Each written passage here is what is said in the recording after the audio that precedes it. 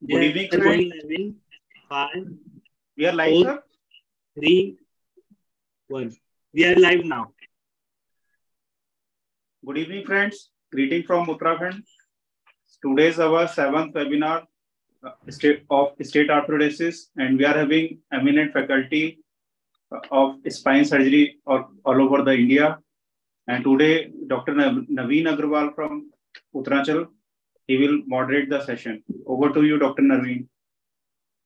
Good evening, everyone. Uh, uh, with the permission of uh, Jayaswal sir, as he is the chairperson for the today's session, I'd like to start the session. Sir, can we start? the Go session? ahead, Naveen. All yours. Take, Yeah. So Take our first speaker is Dr. Abhishek Srivastava. He's a senior consultant spine surgeon in Max Super Specialty Hospital, Delhi, and he'll be giving his talk on uh, lumbar PIVD. Sir, please. Thank you. Uh, first of all, I would like to thank the organizers for giving me this opportunity, and I would also like to have permission of chairperson to go ahead with my talk. go on. All the best. Okay, thank you. So let me pull up my talk. Looking forward to a great talk, Abhishek. Okay, sir. Thank you. And now.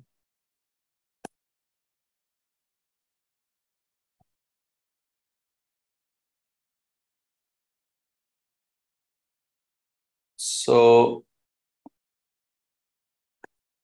today I'm going to talk about some basics of lumbar disc herniation. As an orthopedic surgeon and uh, you know taking care of uh, back pain is a routine thing along with leg pain and lumbar disc herniation is one of the most frequent problems which uh, any orthopedic surgeon or a spine surgeon will come across in his or her daily practice. So I'm Dr. Abhishek. I work as a senior consultant spine surgeon at Max Hospital, uh, Vaishali and Panchsheel Park. So I'll be talking about this today. So uh, as we all know that it is a degenerative process which leads to lumbar disc herniation.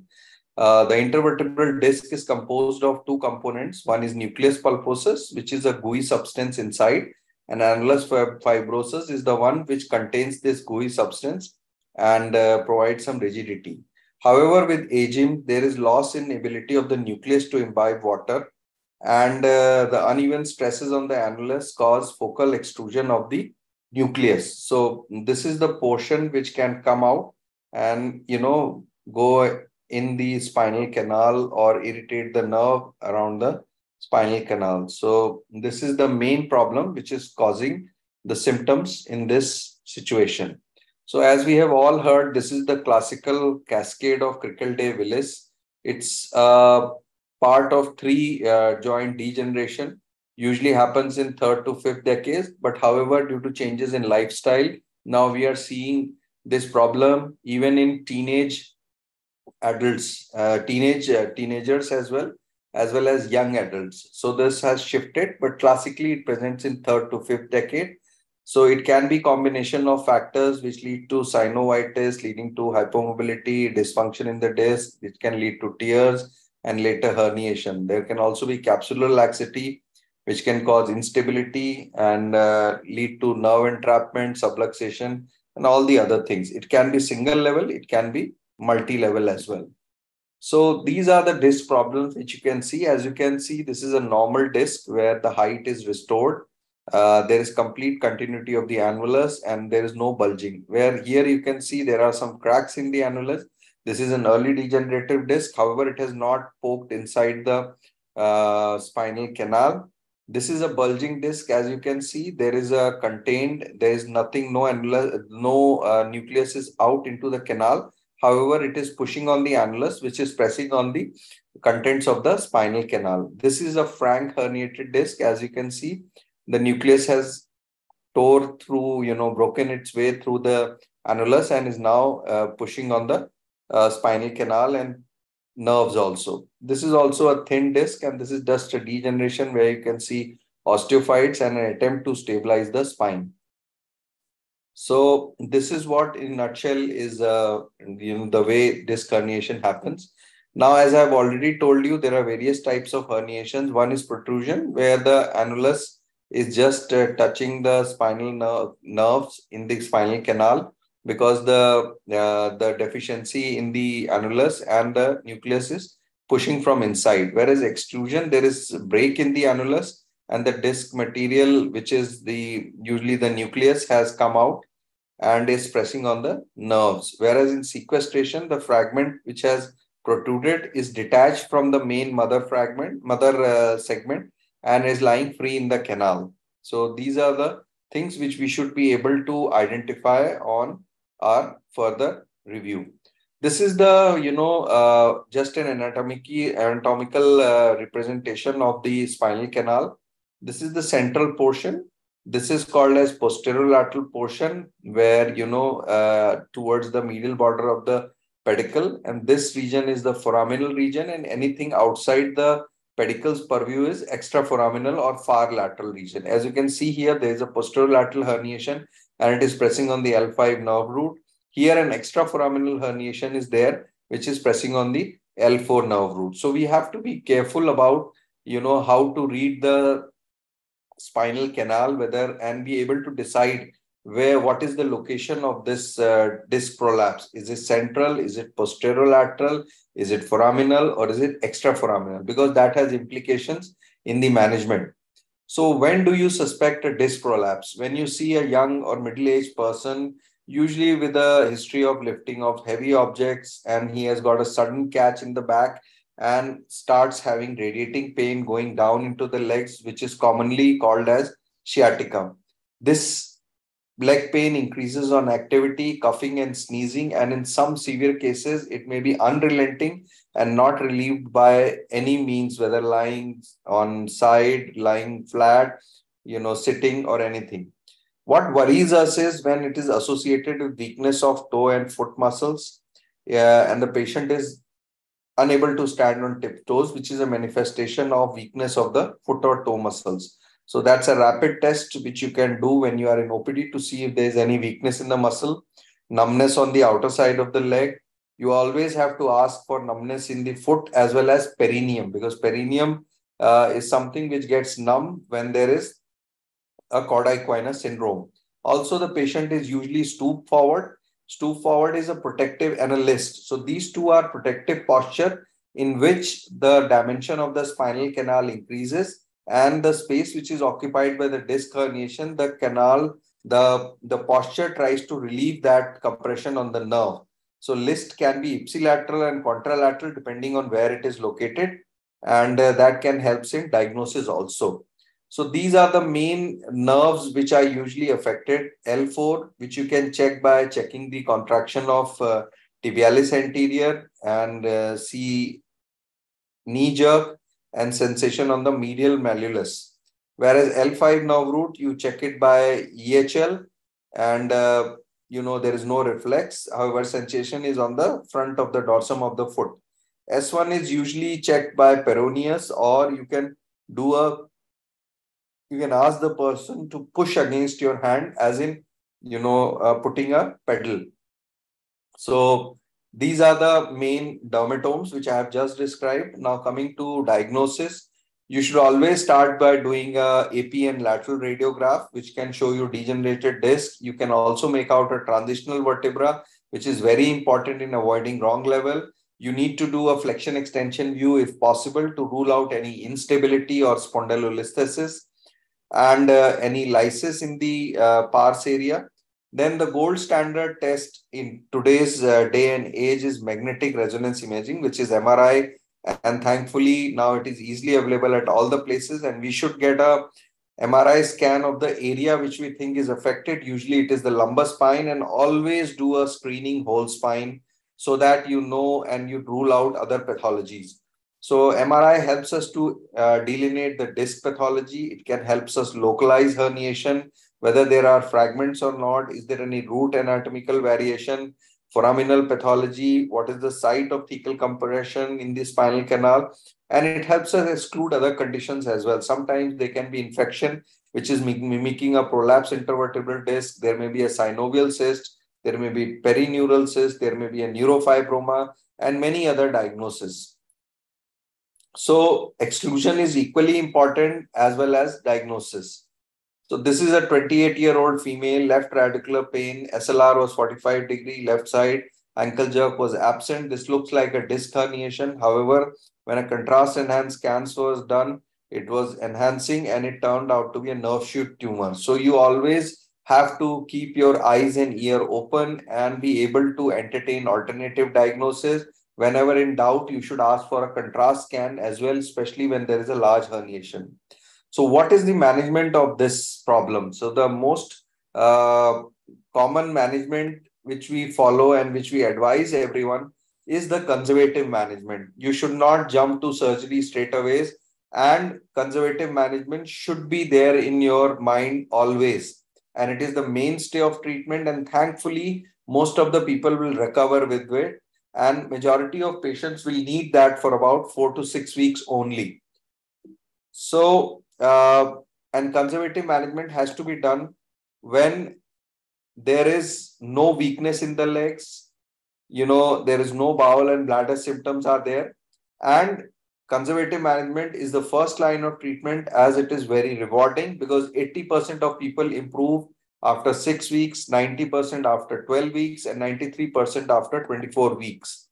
So the natural history is very favorable. Even the herniations which are there they diminish in size over time with about 80% decreasing by 50%. However, the MRI will continue to show the annular bulge and herniation in uh, some cases, uh, especially in cases where the disc is herniated and there is a free fragment lying in the canal. Sometimes it can just, uh, you know, be eaten up by the uh, mechanisms of the body and you may not see that herniation later, which may be quite dramatic at the onset and will uh, disappear. So there are some cases which I have seen in my practice that resolve better if the fragment is herniated and is uh, into the canal.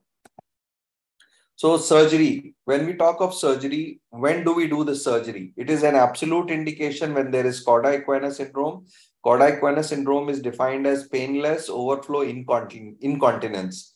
So that is called as complete cauda equina where there is weakness in the legs, perineal numbness, and bowel bladder involvement.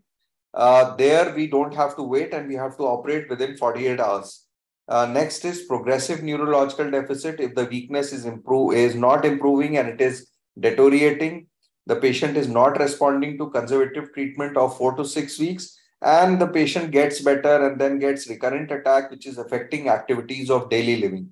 So one uh, indication is cauda equina, where there is absolute. The patient comes to the hospital, gets the surgery done, and doesn't go and go back, goes back home. Whereas in other indications, they, whereas in other indications, you know, it is more of a lifestyle uh, choice where you know you want to uh, get a better life, you know, out of uh, this problem. So that is why you get the surgery done.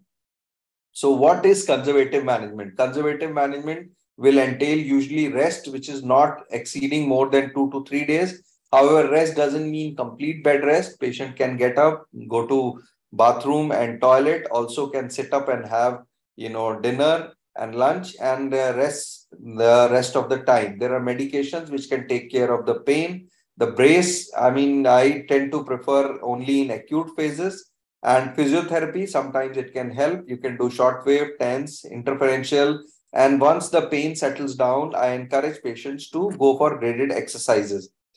Uh, so what are the medications? NSAID alone can be given, NSAID plus muscle relaxant, however, for short duration. If the pain is very severe, narcotics can be added. Antiepileptics such as gabapentin, pregabalin, uh, oxcarbazepine, and duloxetine are helpful in neurogenic pain.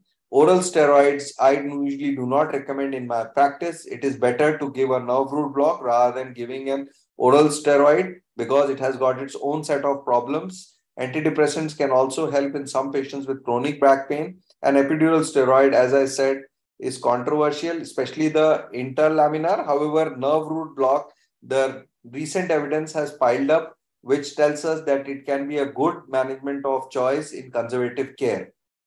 So interlaminar approach, I tell all the patient that it is like carpet bombing where you cannot control which nerve is there. It doesn't have diagnostic value a lot.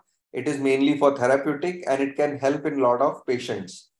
Uh, however, there is no sustained benefit in terms of pain relief, function, and avoidance of surgery, as shown in various you know, studies.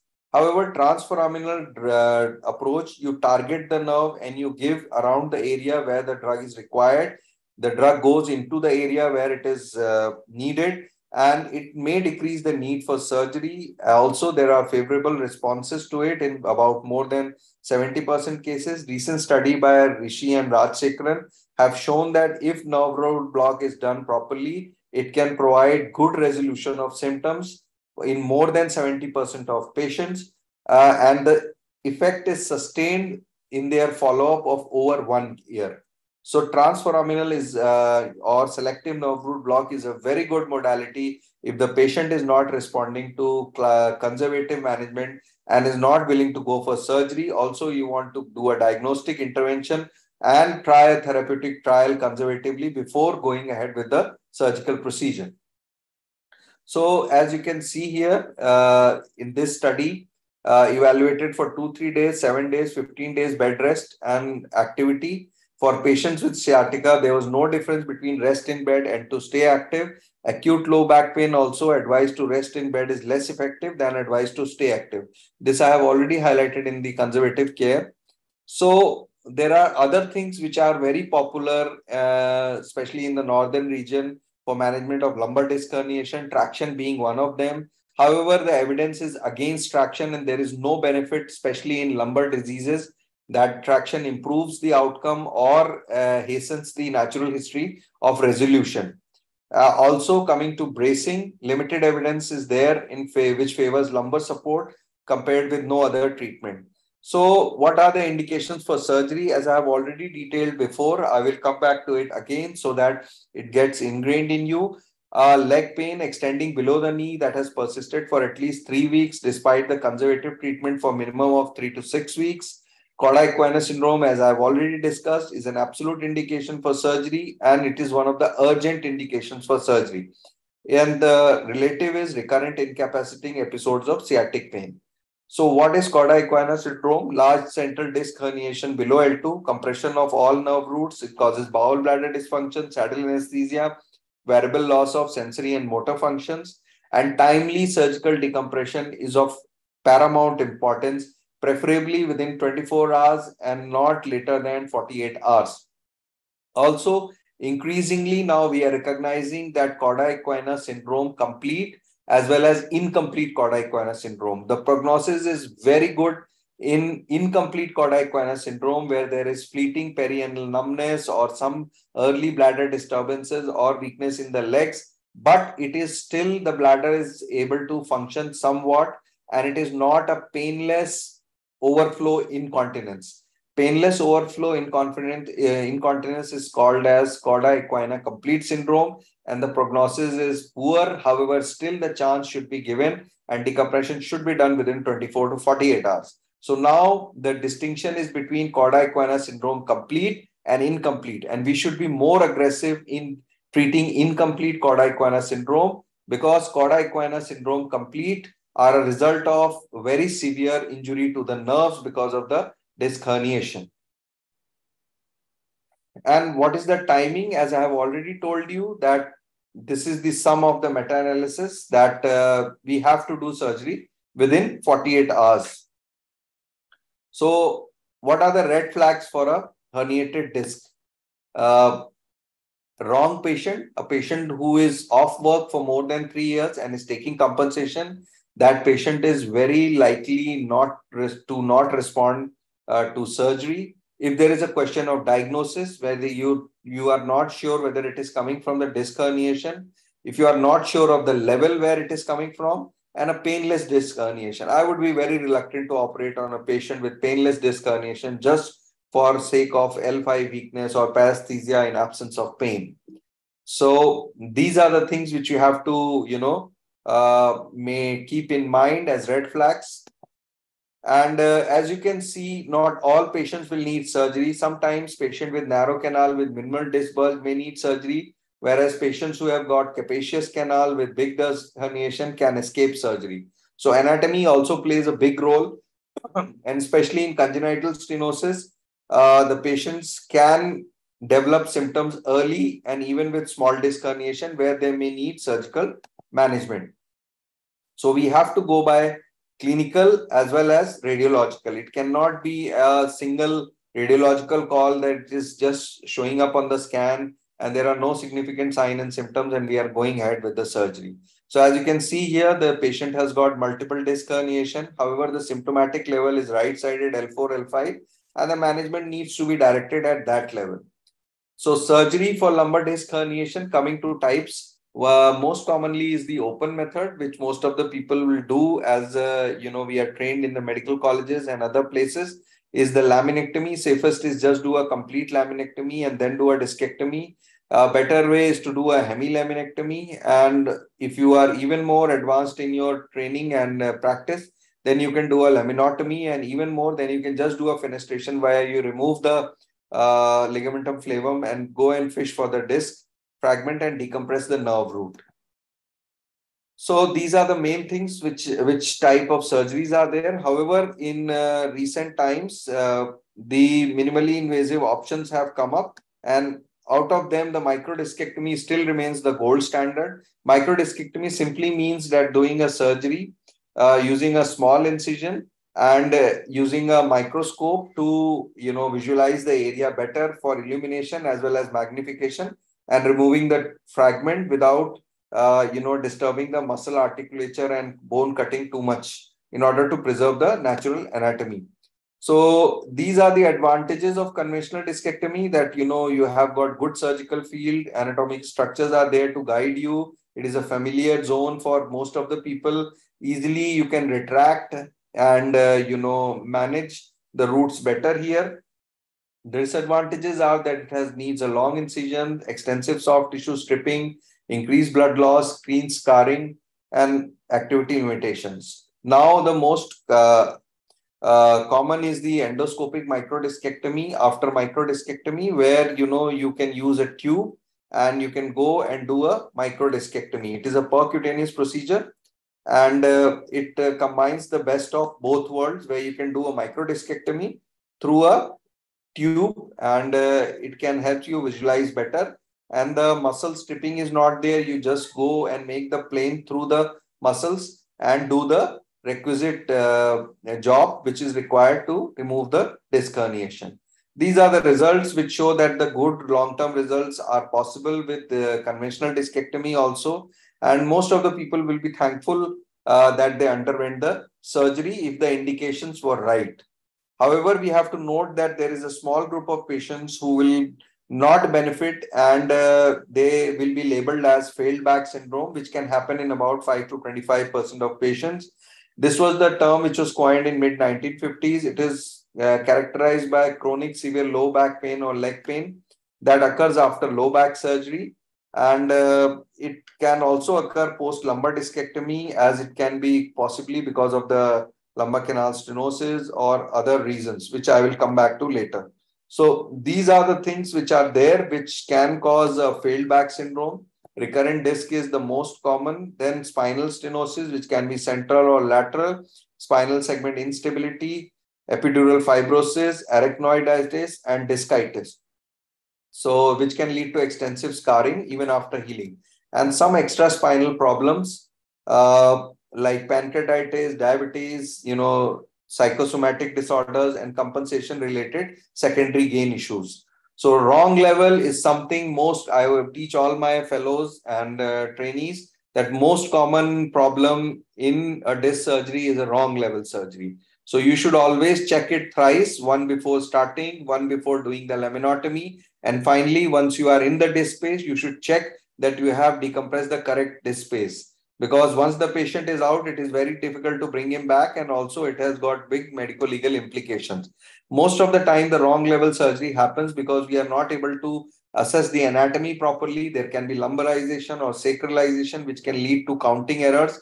And therefore i usually label them as last mobile segment in order not to confuse with the lumbarize or sacralization also exposure related because when you especially when you are doing smaller incisions like microdiscectomy using microscope or microendoscopic discectomy, you can lead to you can easily wander off to another level and you know uh, get lost in the small exposure. Arm localization has to be correct especially when there is some amount of scoliosis or any other problem then you might land up in the level above or below so as you can see here this is the way we put a needle we check the needle on a lateral view before starting the procedure then we check once we have entered the canal and then finally, once we are done, these are the things which we have to avoid when doing the disc surgery. The catastrophic ones I am showing here. First is that you are not able to identify the root and the dura properly. And instead of putting an incision on the disc, you go and put the incision directly on the dura.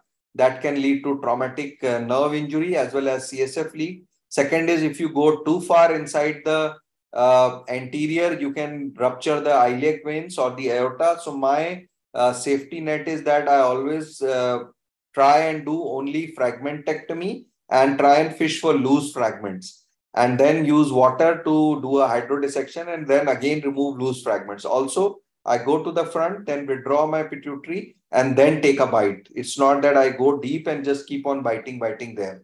And then there's another risk is that when you are using the curved forceps, you can go and go inside the dura. So you have to be under the annulus. Make sure that you are under the annulus when you are doing this maneuver and going on the other side. So this is a technique for lateral recess decompression. You have to go and decompress the recess because there are three components to the disc surgery. One is you have to take out the protruded fragment. Second, you have to decompress the nerve. Third, you have to decompress the recess. So all are equally important. And fourth is to fish for loose fragments in order to prevent the risk of recurrence. Hence, it is very important to undercut the facet where it is grown and try and free the nerve root. So how much disc we should remove? This is always a question which no one is able to answer because if you remove too little, the risk of recurrence is very high. If you remove too much, subsidence is high. So ideal case would be that you only remove the loose fragments, but life is not ideal most of the times. So the balance is that you go and take the fragment which is impinging and then search for the loose fragments and not to do very aggressive discectomy. However, you need to tell the patients that why you are not going for aggressive discectomy because it can lead to later subsidence and uh, recess compressions. Also, it can lead to you know asymmetrical uh, disc collapse and that can lead to persistent nerve root irritation and back pain also. So that is why I prefer to take out only the loose fragment and then the other fragments which are inside the disc which are loose and they can come out further. So this is a microendoscopic discectomy which we do. We use a tube. First there is a there is a guide wire. Then you put a first uh, dilator. Then you continue to put dilators and then finally you thread the tube over the dilators once you are there, then you can either use a tube or you can put a microscope over it to do the discectomy. The approach is very similar to microendos, uh, my, to microdiscectomy, where you erase the muscles from the spinous process and go up to the lateral border of the facet. Here, what you do is you you you go and uh, you uh, here you go. Sorry, just give me. Uh, here you put a tube which goes and dilates the muscle instead of stripping it off from the attachments in the spinous process and the facet joints. You just uh, make a path through and do the same procedure. So surgery is essentially the same. However, the access is better and the patient has got faster recovery as shown in some studies. As you can see here, this is the position some people adopt, you know, knee and chest position that opens up the canal. You can also use Wilson frame or also you can use bolsters. However, the, the height of the bolster should be high so that the knees are able to flex and you can have a better space to access the disc space. Uh, as you can see here, this is a patient who had uh, pre-op disc herniation and uh, this is the uh, two-year post-op scan and it was done through microendoscopic discectomy where the incision size is about 1.5 to 2 centimeters only. Uh, coming to the complications, most common is CSF leak. Uh, so what to do when you do a when you have a CSF leak? You lower the head end of the table, pack gently. If you can repair the dural tear, you repair it by four, four, five, or six, whatever is your comfortable suture with a round body, and then you know you put a glue or a patch over it. And post-op, you can do foot end elevation. You can sometimes do drugs such as acetazolamide. And uh, in our practice, we mobilize them late so that, you know, it gives some time for them to heal. So when to do fusion? So usually I would uh, be tended to do fusion as a, a, salvage option when there is a recurrence of disc herniation. However, in some cases where the disc is very large and the patient is also elderly, I would prefer to do a fusion rather than just doing a discectomy. This was very popular in 60s and 70s. However, over a period of time in young patients, the people would prefer to do a discectomy rather than a fusion. Fusion is to be kept as an option, as a salvage option in primary cases of disc herniation.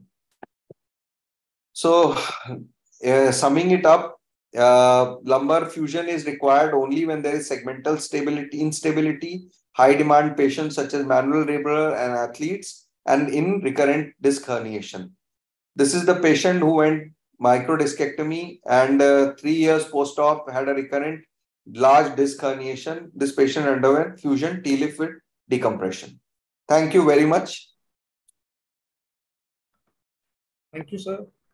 Thank you for such a elaborate, very, very nice talk on this lumbar disc. Now I'd like to uh, call upon our next speaker, Dr. Saumyajit Basu, sir. He is a senior consultant spine surgeon in Kothari Medical Center, Kolkata. Sir. Uh, thanks, Naveen. Uh, can I share my screen? Yeah, yeah. Yeah, just let me stop share. Yeah.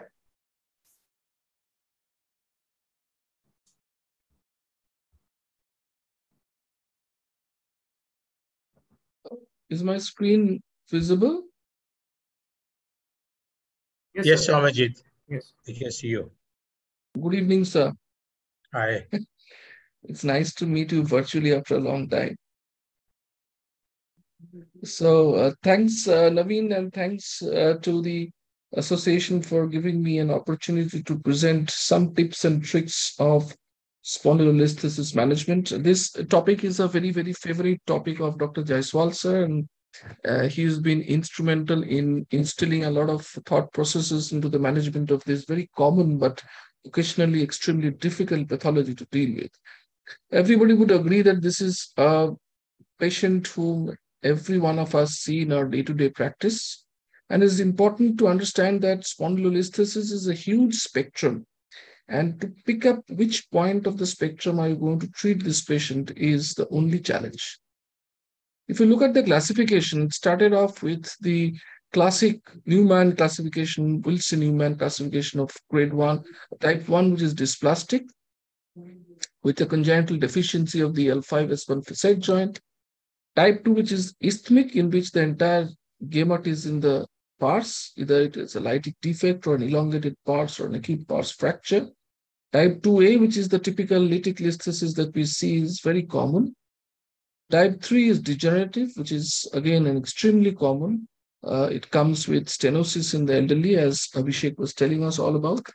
Type 4 is a traumatic one without a pars fracture. If you look at type 2C, in which there is an acute pars fracture, it's typically in uh, high velocity sports injuries or rather uh, high demand back in a typical sports person like an athlete or a rugby player or a football player, they have a, a serrated margin at the at, and an acute back pain. And on X-ray or CT, you can find that there is a very sharp acute fracture without any major displacement. Whereas in type 4, which is a traumatic without pars fracture, there's a lot of displacement. And if you do a good quality 3D CT scan, you will find that there is a facetal dislocation rather than a pars fracture. And the final one is a pathologic, which, uh, like osteoporosis and tuberculosis, is occasionally seen. It's not very common. I'll rush through a few examples before going on to further details about the tips and tricks. So, dysplastic is one in which there is a typical kyphotic deformity and uh, dome-shaped sacrum. And the most common uh, surgery which is done is a single or a two-level fusion with a reduction and a cage situated exactly at the L5S1 disk space. Type 2 is a typical lytic defect. This is a very, very old picture, which I still share. This is a Steffee plate I did about 20 years back. And you can see that there is a big iliac crest bone graft. We've forgotten all of these once the cages have come into the picture. And that is a, a typical cliff surgery, which is being done with iliac crest bone graft.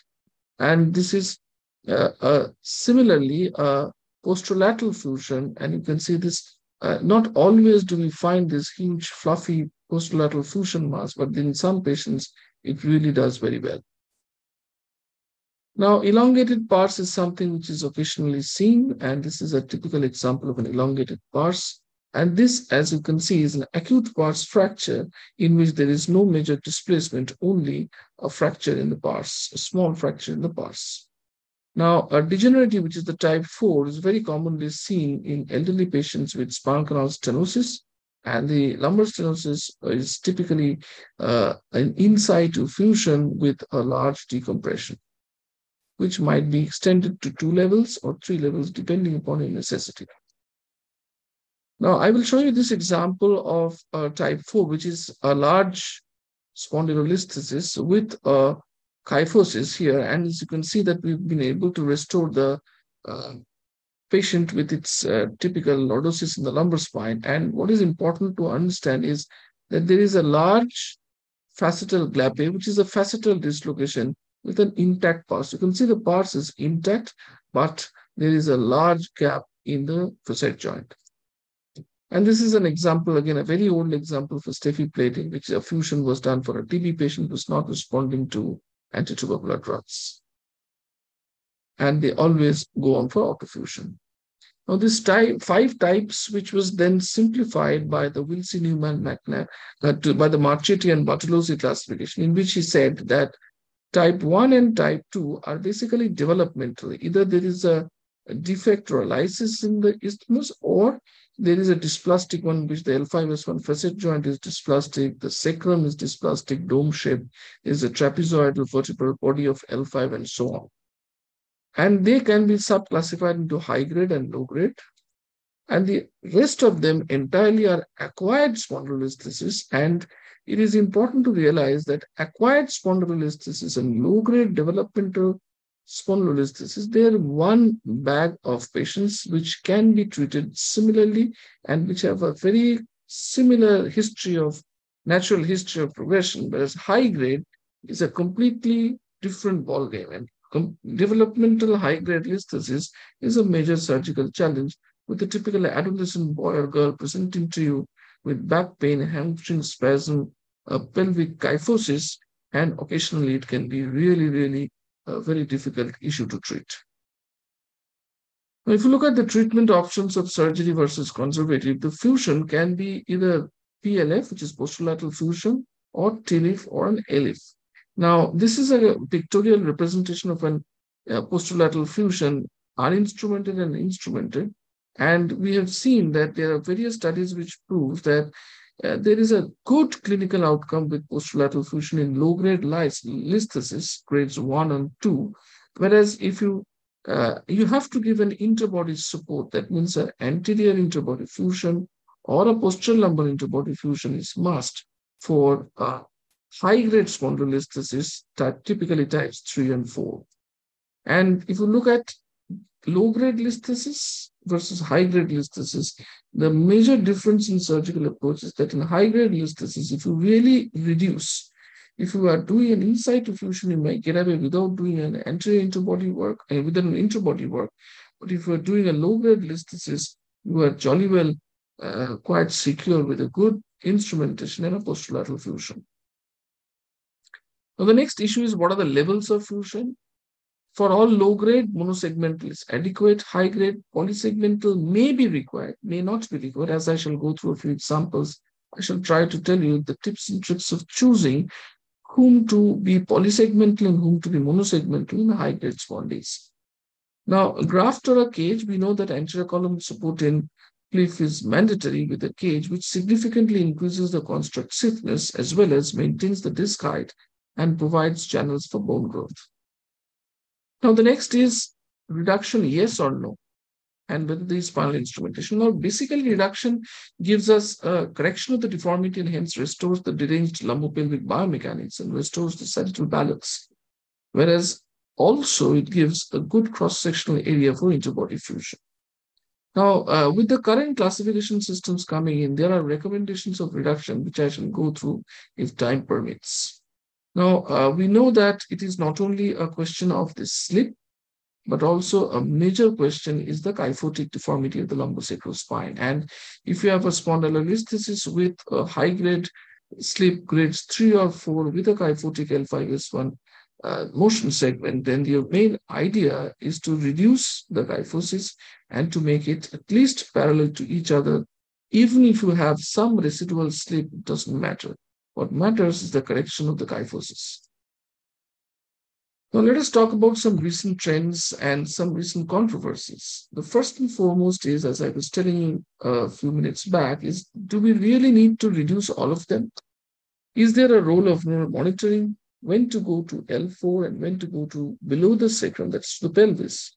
And there are patients who have scoliosis, which are occasionally very troublesome, very progressive, and we need to know which scoliosis requires uh, addressing that problem and which does not. Now, first is do we need to reduce all? This leads us to our current understanding of this pathology on the basis of pelvic incidence and spinopelvic balance. And a lot of publication has come across, and Labelle's publication has now come out into full, full uh, stage classification. Uh, we all know about the pelvic parameters, and uh, I would not go into the details of them, but we need to know the pelvic incidence is pelvic tilt plus sacral slope. Similarly, there are some other parameters like thoracic kyphosis, lumbar lordosis, and C7 here. But this classification of Hubert Labelle, which is the SDSG classification, has come out very well. And this spine deformity study group, which is SDSG, L5S1 spondylolisthesis classification is now very acceptable across the globe, in which they have classified L5S1 spondyl into low grade and high grade. Low grades are type 1, 2, 3, as you can see, depending upon the pelvic incidence.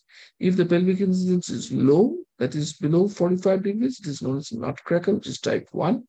Type 2 is with the normal pelvic incidence, 45 to 60, and type 3 is a high PI, which means basically high PI means a high uh, hyperlordosis of the spine, and this is high PI. And so all these are low grade, grade 1 or 2. And the high grades are again subclassified into type 4, 5, 6. In the 4, it is a balanced pelvis. That means the pelvis is not retroverted to compensate for the lumbosacral kyphosis. And in Type 5 and 6, either it is a retroverted pelvis only with a balanced spine, or it is a retroverted pelvis along with an unbalanced spine. That means there is a sagittal offset because the patient stoops forwards. Let us see a few examples and then I can tell you about this in further details. Now, this is an example of a young boy. He's quite young, about nine years, which had a high grade spondylolisthesis. And important it is to realize that it is very high grade, not only from the slip point of view, but for the kyphosis point of view. And let us look at uh, again uh, the recommendation that is for all these patients, one, two, three, and four, you might get away with a, without a major reduction. But if it is a retroverted pelvis even with or without an unbalanced spine. That means type 5 and 6, it is extremely important to go for a proper reduction. Otherwise, the chances of failure are quite high. Now, going into the next concept of is there a role of neural monitoring? Now, uh, foot drop, which is the dreaded complication of reduction of high-grade spondylolisthesis, doesn't happen in all patients. Let's look at again a clinical example.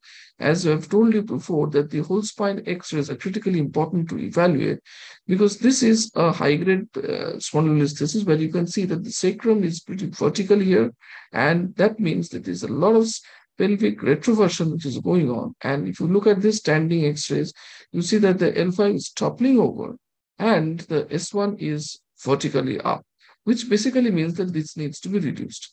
And I will not go into the uh, very details of this. This is how we do it uh, with the neural monitoring. You see, this is the cranial part of the patient. This is the caudal part. And this is the flat dural dissector where I am after the decompression is done, after the screws have been put in, and that is where I'm putting in the paravertebral uh, electrode, and this electrode is on the exiting root. So this is where the exiting root is. This is the S1 root. There is a patty which uh, retracts the S1 root, and this is how the is a, you can you saw the stimulation which was happening, and now this stimulation is recorded, and after uh, the reduction has been completed, the stimulation is again done. You see now I'm stimulating it with a lesser um, uh, current. So this is the L5 exiting root, which is stim getting stimulated.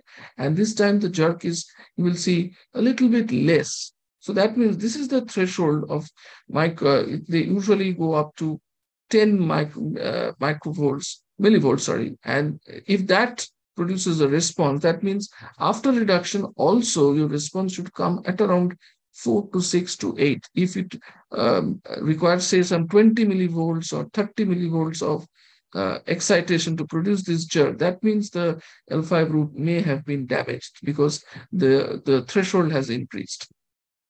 So this is the X-ray of the postoperative X-ray of this patient. You can see this kyphosis has been converted to a uh, parallel L5S1 disk space and the cage is produced anteriorly so that we can compress over this locked cage to, to correct this deformity. And this is the patient pre-operative, uh, post-operatively. You can see that there is a good correction of this lumbosacral kyphosis, which is producing this hamstring spasm leading to a knee uh, flexion contracture. And now after the surgery, this is immediately after the surgery, she is pretty straightened up with significant improvement of the sagittal profile and the hamstring spasm. There's another example. I would not go into the details of that. Now, next, let us go to when to go to L4. Do all patients go, need to go to L4? Now, uh, this is a very uh, pretty old publication of Claudio Lamartina, in which is shown that if you can draw a square, and that square, it's this is not very well accepted across the globe, but this gives you reasonably good understanding that if you fusion mass needs to uh, uh go out to L4. That means this square which he developed meets the criteria that the either the L4 is outside or into the square. If it is into the square, then you can stop at L5. If it is out, then you have to go to L4. Now, uh, current generation instrumentation systems allow us to go to the pelvis, but not all patients would be required to be taken up to the pelvis. I'll give you an example in which I went to the pelvis. This is a highly osteoporotic lady, in which, as you can see, that there is a significant grade 3 slip inflection, which corrects hardly in extension. So reducing this, other than by positioning, it was going to be a very major challenge. As you can see that she's highly osteoporotic. Her bone mineral density was less than minus 2.5. So in this patient, we accepted whatever positioning we got in the positioning, or whatever reduction we got in the positioning, and we went from L4 to the pelvis. We put in S2AI screws. These are the uh, L4 screws, L5 screws, S1 screws, and then this is the S2AI screws. And this is the cage they, we, we did get a reasonably good uh, reduction on positioning, but the problem is if we have such a beautiful reduction on positioning itself, and if you do a monosegmental with such an osteoporotic bone quality, this is going to slip and you're going to lose the reduction very soon. So that's why it's important that we go higher up, involve more levels, put her on teriparatide and observe her, and she did well. Now, finally, I can put in a couple of slides regarding whether the scoliosis requires surgery or not. Uh, let us look at this girl. This is again a young 12-year-old uh, girl, just uh, into a couple of uh, a year after her menarche. And this is how she looks like standing and supine. You can see that standing X-rays shows a typical high-grade L5S1 spondylolisthesis. And if you look at the whole spine X-rays, it is a type 6. That is because you can see that the C7 plumb line is way beyond the hips. That means there is a huge amount of sagittal imbalance along with a retroverted pelvis. So this is a type 6 and there is a significant scoliosis of the lumbar level. In these patients, you, you can see that there is a very significant compression on the lumbar canal and the space at the level of the L5S1 available for the neural structures is grossly diminished. Now, this is the postoperative X-ray of this patient, and this is the postoperative X-ray so far as the sagittal profile is concerned. So immediate post-op, we did get a good reduction.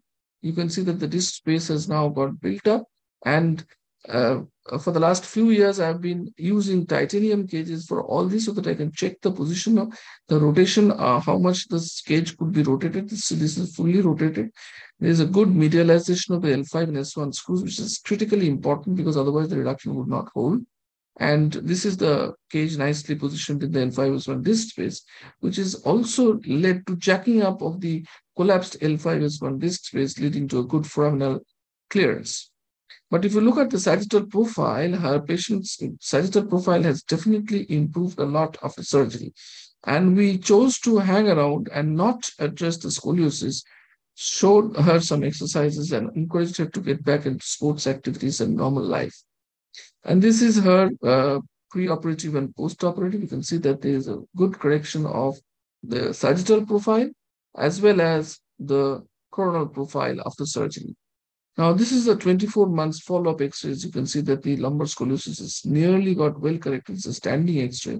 And this is what she looks like after two years. This is the two years follow-up X-ray, which is completely straightened up.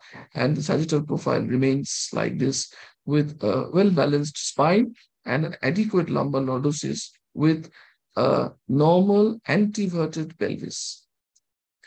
So the take-home messages of this talk would be identify the type of spondylolisthesis and its expected behavioral pattern rather than classifying it meticulously.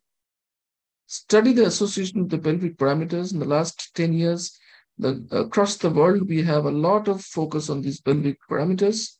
Look at the overall pelvic and spinal balance. Check out whether the uh, pelvis is retroverted or not, and check out whether they have got adequate spinal balance that means the plumb line should be approximately two and a half centimeters plus minus the sacromontory, and then only chop out a treatment strategy. Thanks for your attention. Thank you, sir, for such an extensive talk and taking us through all the basics of spinal spondylolisthesis. It was a very nice one. I'll request Jayaswal, sir, to uh, give some tips as he has done extensive work on high-grade spondylolisthesis. Sir, Thanks, Naveen. I mean, after such an exhaustive and such a you know uh, skillful presentation by Saumyajit Basu, I don't think I need to say anything like this. There's just a couple of uh, uh, points uh, that I'd like to give in from this talk. After this talk, is that for for uh, average spine surgeon or for an of a or a orthopedic surgeon who's doing a bit of spine surgery, the low grade spondylolisthesis can be tackled but the high grade spondylolisthesis should be, should be a very specialized uh, a branch, a specialized uh, treatment is required and should be referred to a center who, who's routinely doing it. I mean, Dr. Basu made it so simple. It's not really that simple. Otherwise, it's fraught with problems and, you know, when to reduce and how to reduce. You cannot just learn in a in a webinar. So the my, my message would be the spondyl low-grade listhesis, especially the degen types, can be done. And a good decompression is what you need to do with, with stabilization, as Dr. Basu rightly pointed out. But the high-grade ones has to be referred to a specialized center and has to be treated as a spinal deformity. As, as rightly pointed out, there's a kyphoscoliosis and lumbosacral, which should be rightly addressed. And you have to correct the straight and a vertical uh, pelvis. Otherwise, it gives rise to a lot of problems. You know, the the other other thing is when you see a scoliosis, right? It is very essential, even in idiopathic scoliosis, it is very essential that you or you get the the lumbosacral spine evaluated, lumbosacral junction, because there, as as the last case we saw, Dr. Basu said, was an listhesis, right? Where, where the spondylolisthesis was there, and because of the defect of L5, L5S1, the top link, it also turns laterally to giving like the scoliosis. So all idiopathic scoliosis should be properly screened, at least the lumbosacral spine should be focused there. If you have a long-standing scoliosis X-ray, at times you miss the L5S1 uh, lesion, and and they may be the main cause may be a high-grade spondy, and the scoliosis may just be a, a sort of a correcting mechanism there. So these are the two points that I would like like to emphasize. Thank you, sir. Thanks, sir. All those, all those agree with me? thanks sir all those wisdom comes in uh, always always it's always like uh, a relearning from you Uh, you don't needn't go to, go and express on my and comment on my gray hair. You're trying to say that, is it? Over to you, Naveen. Yeah. Sir, yeah. Thank you, sir. And now If there are any to- questions from the house, you know, we'll take them out yeah, we can, sir, take them at the last, sir. at the last. Okay, right. Yeah, Thank you, sir. Sir, I'd like to call our next speaker, Dr. Tarun Suri, sir. He's a head, uh, head of department spine surgery in Amrita Hospital, Faridabad. Sir, please. Yeah. Thank you, Naveen. Uh, am I audible? Yes, sir. Yeah. So thank you, uh, Naveen, uh, Dr. Puneet Gupta, Dr. Puneet Agrawal, and the International Orthopedic Association for this wonderful initiative, where we are getting to listen to such stalwarts and such wonderful talks. Uh, and uh, my sincere regards to my teachers, Dr. Basu, uh, Dr. Arvind Jayaswal, and a very good evening to Dr. Abhishek Srivastav and uh, Pankaj. So, uh, so I uh, I'll be speaking on uh, the tips and techniques of lumbar and thoracic pedicle screw insertion. So let me just share my screen.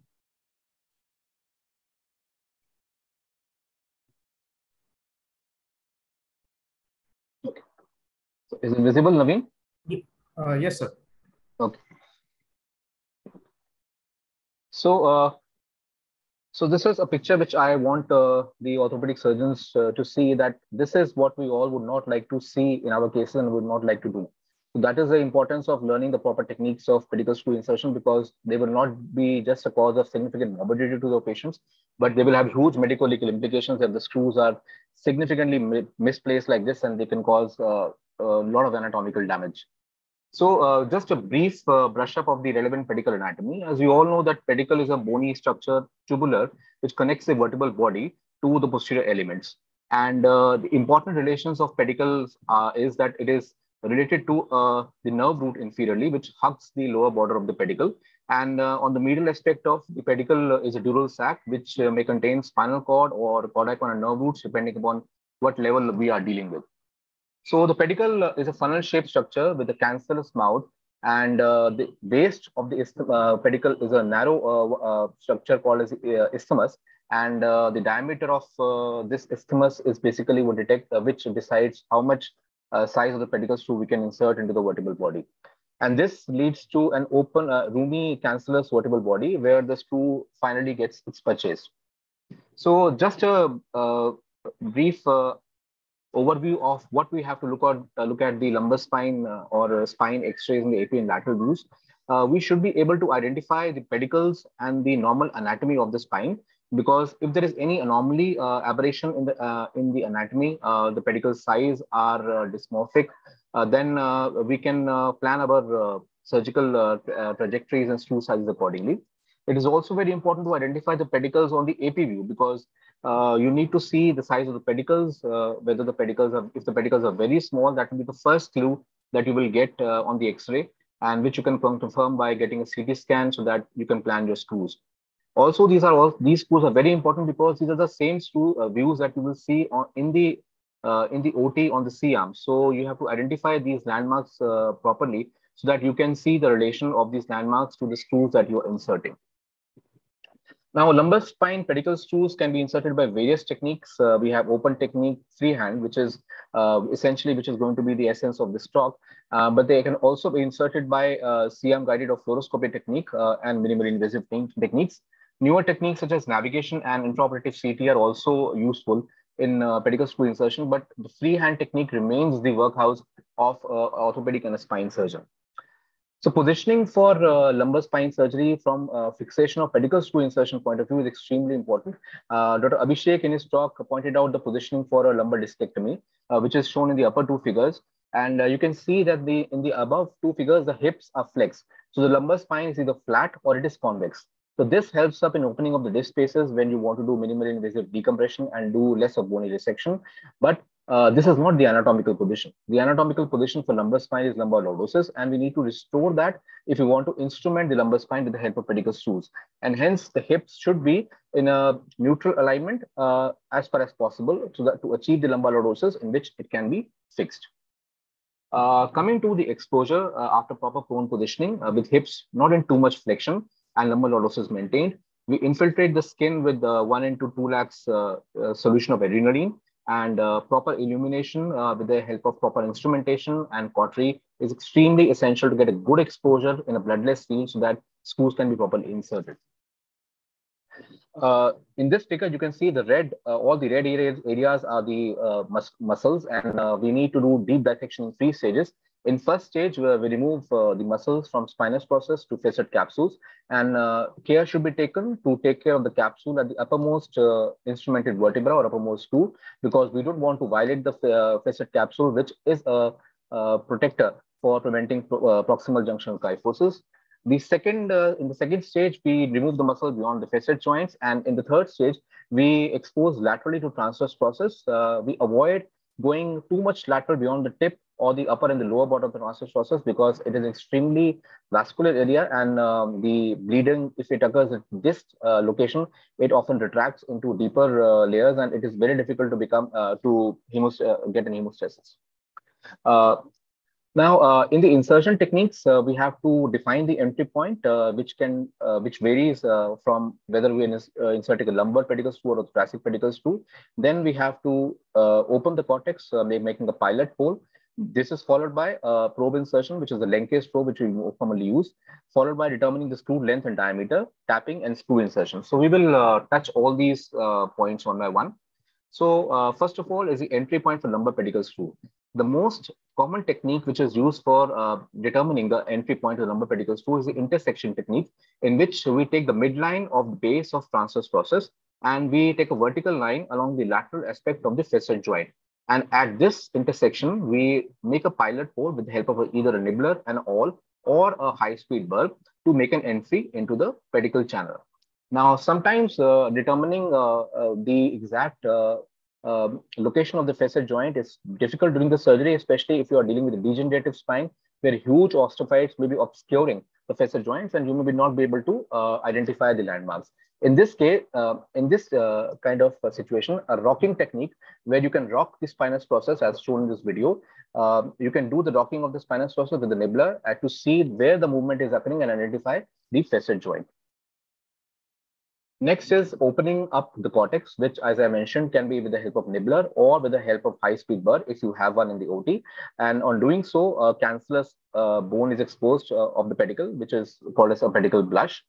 And uh, following this, uh, we make uh, the uh, we make further advance it with the help of awl or and uh, followed by using uh, a Lenke probe, which is uh, shown in this figure. The Lenke probe is a curved shaped probe where we insert the Lenke probe with a curve facing laterally initially. Now, the uh, idea of this doing this uh, is uh, something called as gear shift technique. We want to insert the probe with the curve point with the point facing laterally initially because we don't violate don't want to violate the medial border of the pedicle. And um, when we negotiate the pedicle, which is usually at the depth of 15 to 20 millimeters, we take out the probe and uh, we then uh, insert the yeah. So we then insert the uh, the probe in uh, a change direction in which the, uh, the probe is medialized so that it enters into the vertebral body. Now, this probing is done by slow twisting movement so that the pedicle, the Lenke probe, it's find its way through the cancellous bony channel and any amount of force should not be done. Hammering should be avoided because by doing so, we will not uh, will not be able to realize uh, when we are violating the medial wall, and that can lead to a serious uh, medial or a lateral wall breach. The next step is now the next step is uh, determining the craniocaudal direction of uh, the pedicle too. Now, in terms of uh, lumbar spine, if you look at this graph, uh, you will be able to realize that uh, uh, the craniocaudal angulation at L3, L4 is nearly zero degrees. So, in simple words, the L3, L4 screws, they all L3 screw almost goes vertically downwards when you position the patient properly. The L4 and the L5 screws, they are directed caudally, and uh, the L1 and the L2 screws are directed slightly cranially.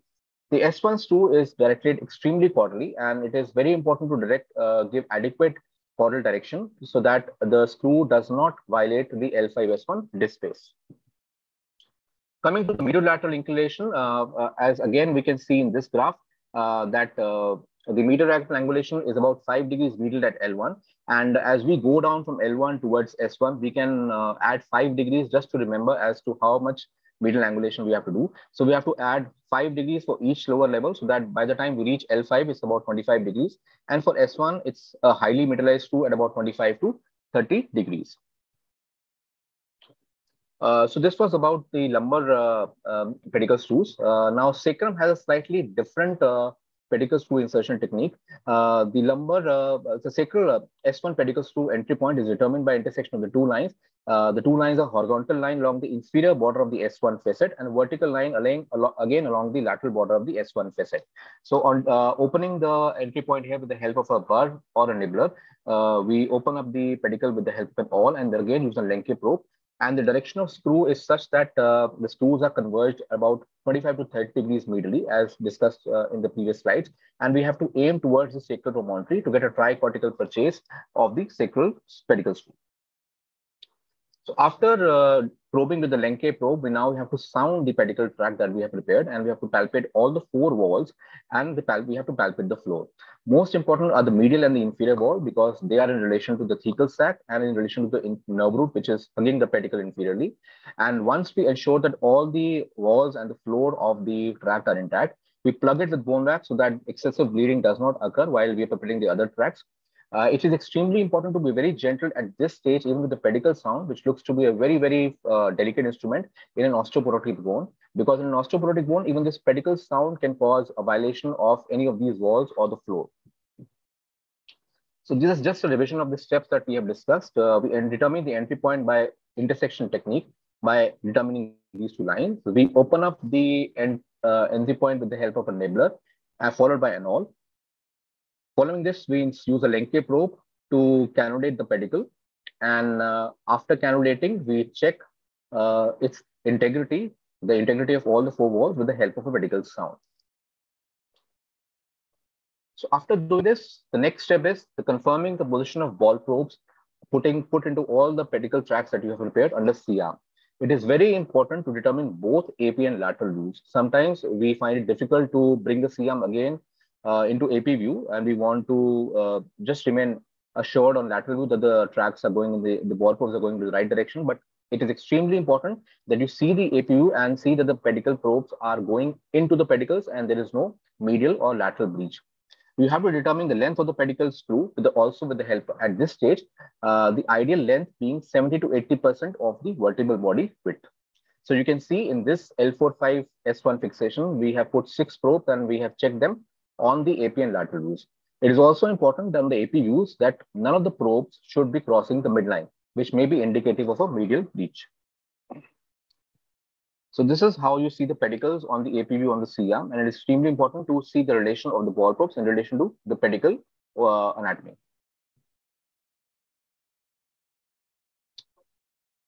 Next step uh, after confirming that the screws are in correct position is doing the tapping. Uh, now tapping uh, has been uh, shown in biomechanical studies that excessive tapping can reduce the insertional torque of the pedicle screw. So uh, the tapping can be avoided or uh, the screw track can be under tapped by one millimeter so that for example if you're putting a 6.5 mm screw you can use a 5.5 mm tap just to make an initial entry into the pedicle and after tapping, we have to check with the sound again so the, to confirm that the uh, tap has not violated any of the pedicle walls.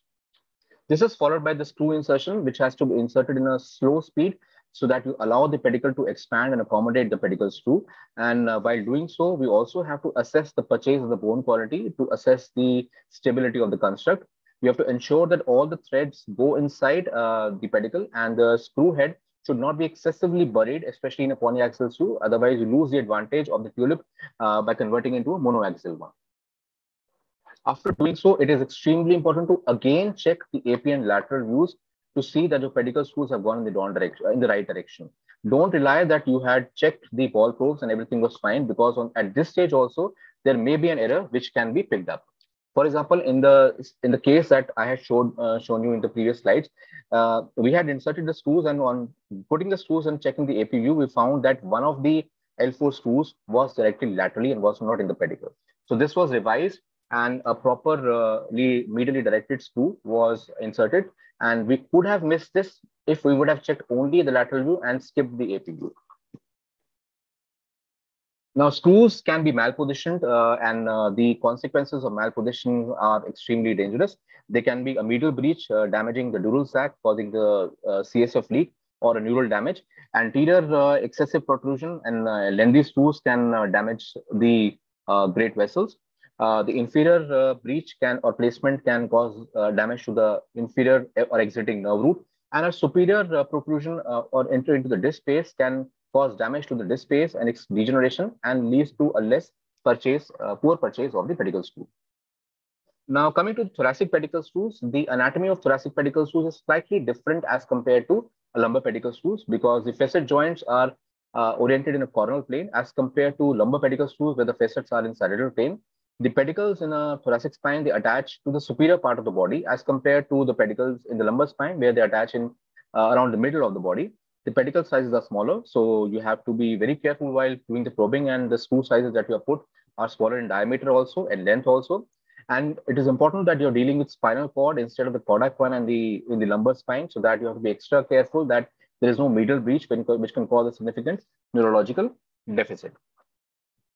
And in the thoracic spine, the entry points and the starting points uh, uh, uh, and directions are slightly different from a, uh, from a lumbar pedicle screw. For mediolateral starting point determination, we use a superior facet tool where we expose the superior facet of the, uh, the vertebra being instrumented and we divide the superior facet uh, into three parts. And it is important that we stay away from the middle two thirds of the superior articular facet uh, for the entry point because that can lead to a medial breach. The starting point ideally should be two to three meter, millimeters lateral to the midline of the superior articular facet.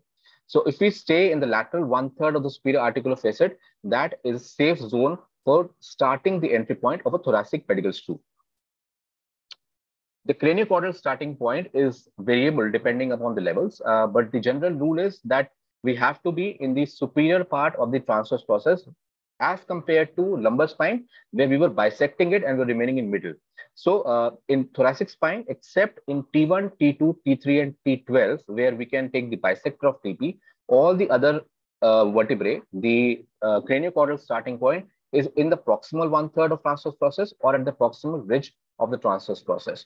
Okay, so in the beginning, you have, can uh, uh, keep this chart in your uh, in a theater in front of you to determine which vertebra you are instrumenting and using a proper entry point uh, from that perspective. But to make it simple, uh, in thoracic spine, the craniocaudal starting point is in the proximal one third of the transverse process.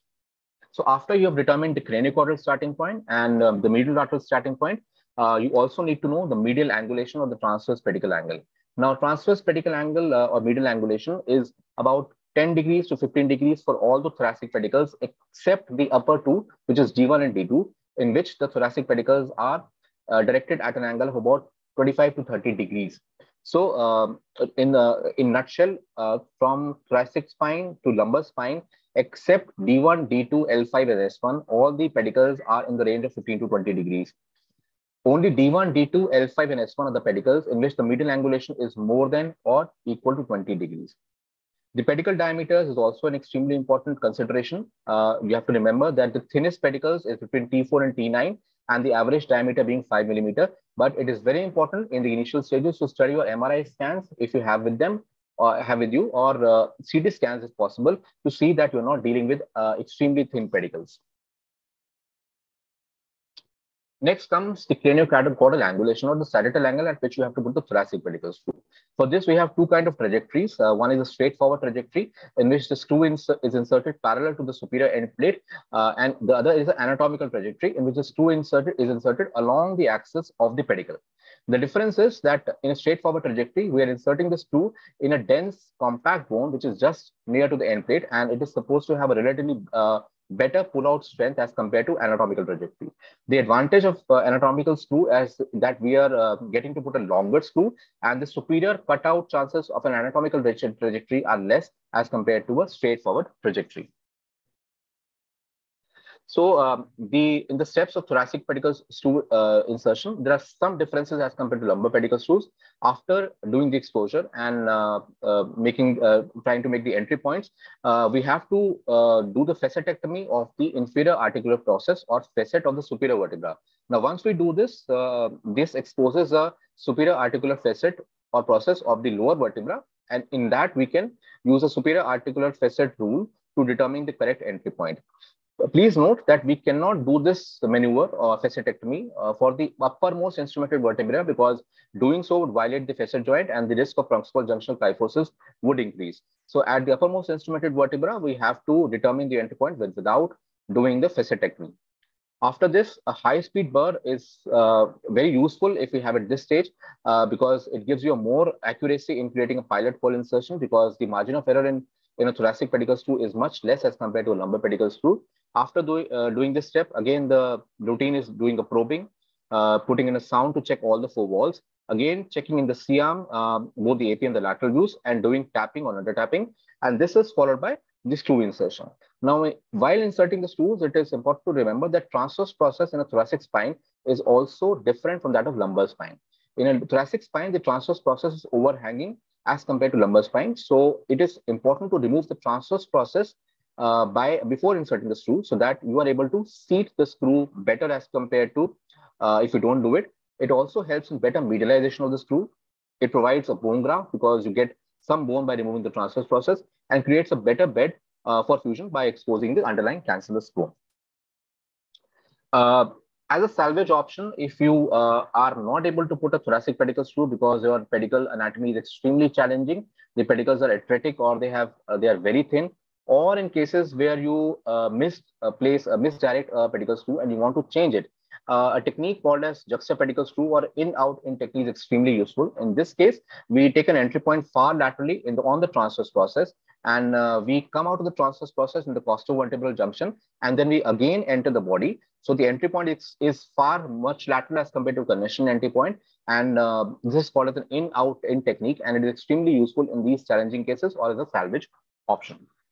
So the other salvage options are if you misplace a screw that you can consider a larger diameter screw if the pedicle walls are intact. So sub, suppose uh, you've inserted a 6.5 millimeter screw and uh, you find out that uh, it is having, having a medial breach, then you can remove it and try putting it a 7.5 screw if you have it available and the pedicle walls uh, are intact.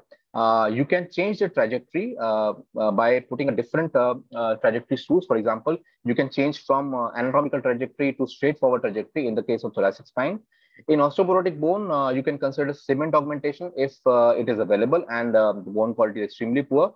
And after doing so, uh, all these, uh, if you are not able to get any pedicle purchase, then you can consider uh, skipping that level or move to the cranial or the caudal level, or you can use alternate fixation options such as a wire or a hook uh, to secure fixation into that level. So uh, the take home message is that uh, before you start putting in pedicle screws, it is extremely important to practice first on the sawbones and cadaveric workshops. Initially put supervised pedicle screws uh, so that you know uh, um, how you you have to master the technique. Lumbar screws are easier to put and they have more margin um, uh, uh, of accuracy so that uh, you can put start putting lumbar pedicle screws first and then move on to thoracic it is extremely important to read your scans very well, uh, the X-rays, MRIs, and if uh, available CT scans to look for any aberrant anatomy or any difficult pedicles which may not be amenable to a pedicle screw fixation. And uh, whenever in doubt, it uh, is extremely useful to take the help of C-arm in the form of both AP and lateral views so that you do not uh, create any important, uh, any significant damage to the dura or to the nerve roots. Thank you so much, Naveen. Thank you, sir such, uh, for taking us through the basics of putting in pedicle screws. It was a very nice talk. I'd like to have some inputs from Jayaswal sir, as he has a very uh, extensive experience of putting in pedicle screws in deformed spine. Sir, please. Well, one of the one of the key points in putting a pedicle screw in, in a deformed spine, particularly let, us talk about scoliosis, is that to start with, we, we as a routine do CT scan and our radiologist, we tell the radiologist to do a cut in every ped, at every pedicle level. And this give us a, a printout of that. That's very important. So at every level, you know what is the trajectory of your pedicle, what is the thickness of your pedicle, as Tarun rightly had said towards the end of the talk. If the pedicles are very narrow or they are like a slit, then you can do in-out techniques. There are other techniques which you can adopt. So it's very important to understand and know what is, what your pedicles are like, especially in a deformity cases. Very important. And with MRI, you don't get a very good idea about the type of. You can actually, uh, uh, you know, find out. But best is to get CT done. You know, so routinely we get CT done before surgery to have this. So you have that in the OT to see the various levels, and we know, normally mark it out so that we are aware of where the the the uh, pedicles are narrow. So so then uh, apply the other technique to do that. The other thing is the uh, you know people are mostly wor worried about uh, the angulated uh, concavity in the curve, in which you have to start a bit lateral from the from the exact uh, uh, classical entry point. You have to start a bit lateral, and you get to angulate your uh, your trajectory more medially towards that. But the important thing is, as Tarun had rightly said in his diagram, the midline should be kept in mind. You do not cross the midline, the, the spinous process in the AP going to the opposite side. So these, these are some of the tips that you do. And if you are ever at a doubt, in, in especially in scoliosis, skip that level, go above, you know, so that if you're struggling, don't keep going on the same ascent because likely to then then cause catastrophe. Yes. Sir. Thank you, sir. Anything else? Thank you, sir. Uh, you'd like to, Tarun, add on this deformities? No, I think, sir, uh, uh, uh this was right. Uh, but I think, uh, Naveen, it's important that for a routine orthopedic surgeon, they'll be mostly dealing with trauma and tuberculosis and maybe degenerative spine.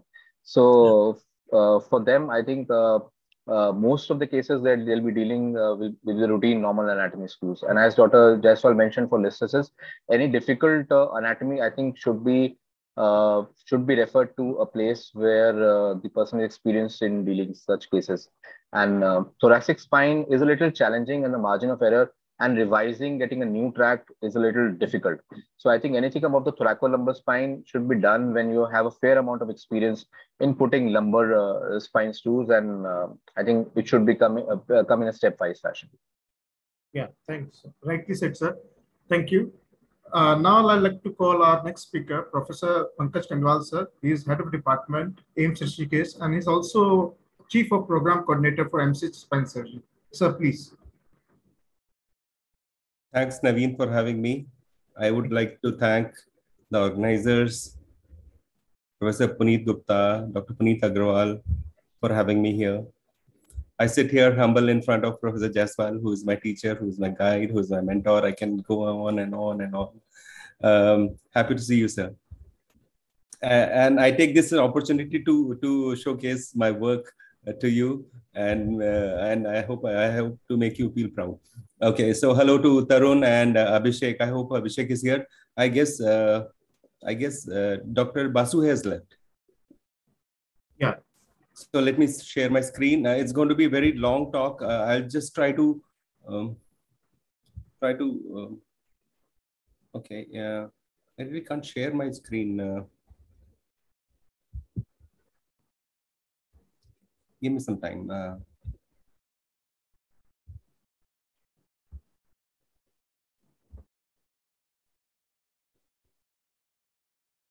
Naveen, we can't see the screen. No, his screen is not yet shared, sir.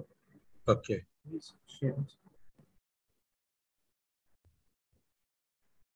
Hello, Dr. Pankaj.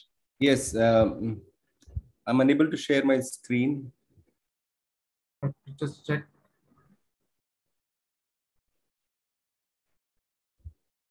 Is somebody already sharing the stream? Sharing the screen, sir. Oh, I have Hello? stopped sharing it. I stopped sharing it uh, long back. Okay, okay.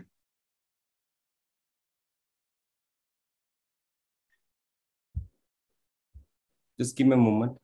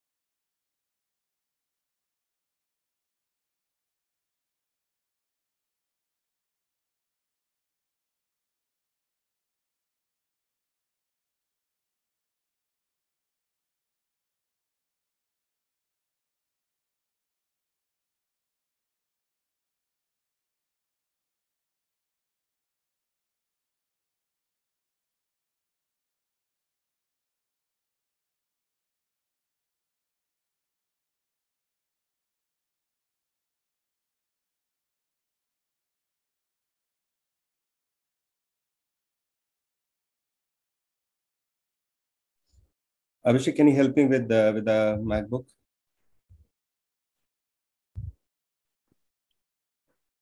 Why don't you? Is there a technical expert there? Uh, Naveen, do you have someone? You there's a button which is there for share screen. I can do the I, I I do that, but uh, But what's Sir, happening? Sir, you need some help sharing the Sir. screen? yeah, yeah, Yeah. It's asking me to open system preferences. Uh, I need to go to settings, I guess. Uh, yes, just uh, allow the system to share the screen. Okay, yeah, yeah. Give me a moment.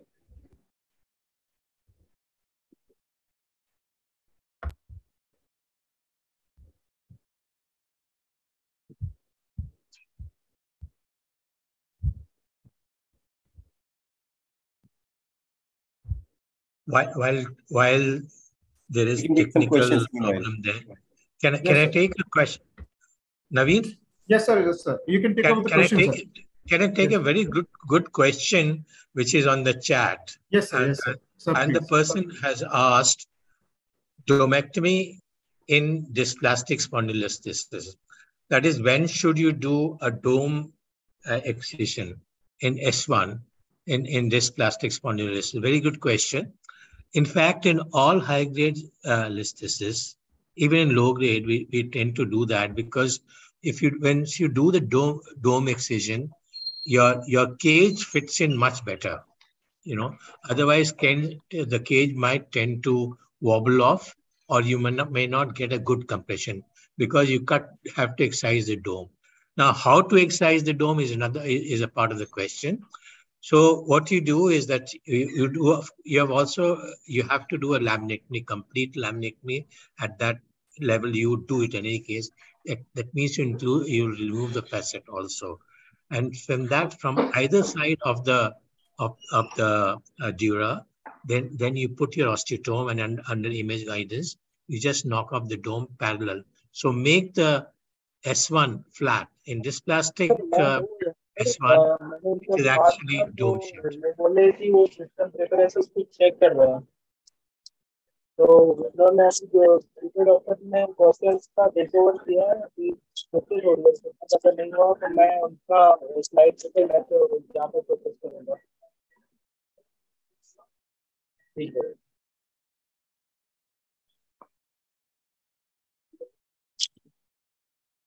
Yes, sir. Uh, yes, sir.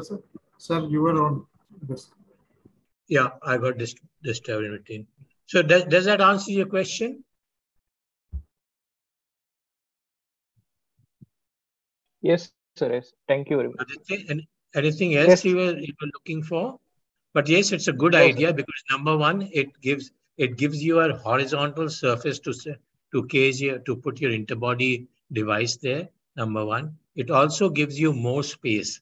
So if there's if there's a, a high grade listhesis, there's a dome there. If if you flatten the dome out, you you're basically doing osteotomy actually. See, so you're going to shorten the posterior fragment because you've already done a uh, laminectomy.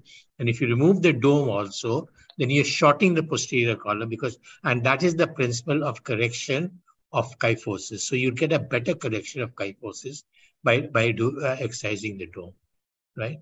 And also when you remove, when you shorten the posterior part by removing the lamina as well as the dome, then your tension on, on the exiting root is much less.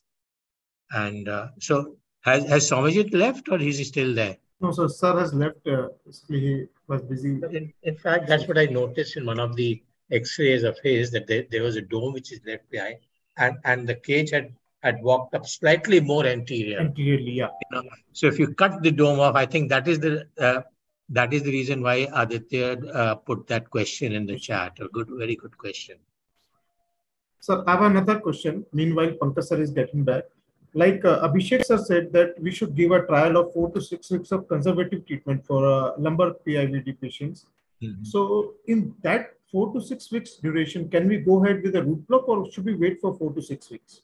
Very good question because I had noted that question down for Abhishek myself actually, you know, right? So if Abhishek uh, is there, then I'll I'll, I'll uh, ask him to answer that. So let let me more quantify that question for uh, what you're asking. So Abhishek, are you there? Yes. Okay. So let let's put a put a scenario. Okay, uh, a young male, you know, uh, you uh, posterior lateral disc prolapse on MRI, first episode, pain, pain, radicular pain, right? You put him on conservative treatment, right? Three weeks of conservative treatment, he still has leg pain. Now, what are you going to do? Would you would you do a root block, number one, or you'll do surgery? So my uh, idea about giving root block is uh, to tide over the natural history of a lumbar disc herniation actually. So basically as 90% of people will get better at three months. So I'm I'm just trying to tide over that period. Actually, all the medications also do the same job like giving pregabalin, anti-inflammatory, physiotherapy, and everything. You are just passing time for three months or six weeks so that the natural healing takes over. Whereas uh, the root block will give you an opportunity to reduce the pain while still giving you some time. So I would be very uh, inclined towards giving a root block at three weeks and then waiting for another three to four weeks if the pain doesn't come back, we have done our job. If the pain comes back, that means there is, uh, you know, some uh, uh, mechanical compression which is causing irritation and that needs to be removed physically by doing surgery. So actually the effect of root block comes from the chemical hypothesis of a, of a disc herniation. So basically once the disc comes out, it irritates and creates inflammatory response around the nerve root and that is the cause of uh, pain in most of the people. Mechanical compression is also an aspect but that is a minor aspect in the whole problem. So root block acts on that problem of chemical you know irritation on the nerve roots. That so is why so fair enough so but but in which case you would directly go and do a discectomy and except of course cauda equina in which case, what, uh, that is what Naveen was driving, trying to drive at, would you directly go and do a discectomy? If there is a weakness associated with significant amount of leg pain. So my point is, if there is only pain, no weakness, no nothing like that. I would give no, I would give nerve root block at three weeks. I would give nerve root blocks. In fact, I might be inclined to give it earlier if the pain is not getting better with conservative care like physio, medication, and other things. And if the I, I, think I think that's the right way to approach yeah. Naveen. Give, give yes. the patient a trial, and and you'll see that about forty percent of the remaining patients would also improve. They may not need the surgery at all, you know. And if, as rightly, uh, if he's rightly said, if there's a if there's a weakness associated and significant weakness, not not a, just an EHL weakness. If he has got a foot drop, for example, significant foot drop and a pain, would, uh, and conservative not improving, straight away is going to discectomy. Tarun, you, you, you raised your hand, yeah. You want to come in? Sir, I would like to take this question a little further. In practice, we see a lot of patients who whom we give a root block and they have inadequate response or no response. So now I would like to ask Dr. Abhishek, what would be his next step? Would he give a root block for the second time or third time? Because I know people who give root blocks uh, up to three times as well. Or now would he be a candidate for surgery? So for me, I feel that if root block is done properly, if not therapeutic, it will be diagnostic for you. Right? Because if you have a clear cut L5 radiculopathy, if you are giving local anesthetic around that area, it should take the pain away at least for 6 to 24 hours for that patient. Right? And there are studies which show that if you have done a root block and patient has temporarily improved and the pain has come back, then the chances of success of a discectomy is higher. In fact, it goes up to 95% if you do it without a root diagnostic root block. So I give uh, the option to the patient that the first injection is diagnostic as well as therapeutic. I don't tend to repeat an injection if the pain comes back in the patient. So I would like to repeat it if say, suppose the pain was 100 and after the first injection, the pain came down to 70, patient is now carrying out most of the activities and he wants incremental relief, which is not coming from physiotherapy, then the option would be to give another injection to give that, you know, 30% more relief. And if the patient is getting better with that 30% also, then the job is done. If the patient says that it is affecting his activities of daily living and he cannot live like that, then it is a lifestyle enhancing surgery, then I would offer a discectomy in that case. So my first injection is very critical. I would like to do it properly. That is why I use both AP and lateral C-arm when I check my needle. I do a contrast and get a good radiogram, uh, rotogram. Actually, there are three types of rotograms described in uh, Raj and Rishi's paper. So you can go through them, you know, depending on how the dye flows, you can do a prognostication also of how the root block will uh, affect. Also in transitional vertebra, the root block doesn't give a long lasting effect. So you should always tell the patient before you give that it is more of a diagnostic thing rather than might not be a therapeutic effect for long term. Okay, on, on, on root blocks, another question to you, Abhishek since you do so many of these. Uh, L45 posterior lateral disc. We, you would like to block the the exiting root or transverse or traversing root or both? Uh, one, the L5. Traversing one. Uh, traversing. Okay. Sir, uh, we have questions on chat. Uh, I'll like Jayaswal sir to please uh, take up the questions. First question is like, does all uh, need interbody fusion in high-grade dysplastic or lytic listhesis? Points to consider. The first question is this one. Sir, please. Does all need interbody fusion in high-grade dysplastic, lytic listhesis? Uh, yeah, yeah. Look, uh, I, I think uh, Dr. Basu touched on this. In a low-grade listhesis, you can you can get away with a posterior lateral fusion, right? and, and, and pedicular screws. But in a high grade listhesis, I think it's a good idea to do an interbody fusion almost always. Unless, uh, unless you know, if it is a long standing uh, uh, grade three listhesis, for example, and the say in a lady of about say uh, say about 45 years of age, where you know it's not going to progress, everything is sort of uh, stabilized there. Her main problem is a stenosis, right? In which case you can just do pedicle screws and, and do a do a uh, de decompression of the lumbar canal stenosis. But if you're looking at addressing the listhetic, the instability part of it, if you're addressing the instability part of it, that means you're reducing it. Even if you're doing a partial reduction, I think you have to do an interbody fusion for a better stability. So the next question, sir. Uh, when to stop reduction in high-grade listhesis apart from drop in signals if we are using neural monitoring? Okay, uh, so so what what uh, the procedure which uh, the uh, technique which we follow is that uh, you know you you would uh, it's basically Harms technique. You you put place a screw in four, and you place a screw in five and S one, right? and you, you with a reduction device or a reduction screws, and you, you're trying to lift the L5 towards your uh, towards your rod, which is spanning spanning L4 and S1, right? And you do it not at one go. You you do it multiple multiple maneuvers, right? So you do it on one side partially, then go on to the opposite side and come back to this line finally. If the screw at some stage of one side starts backing out, right? Then stop there. Don't go in for further reduction. Then you then what you do, you just stop there.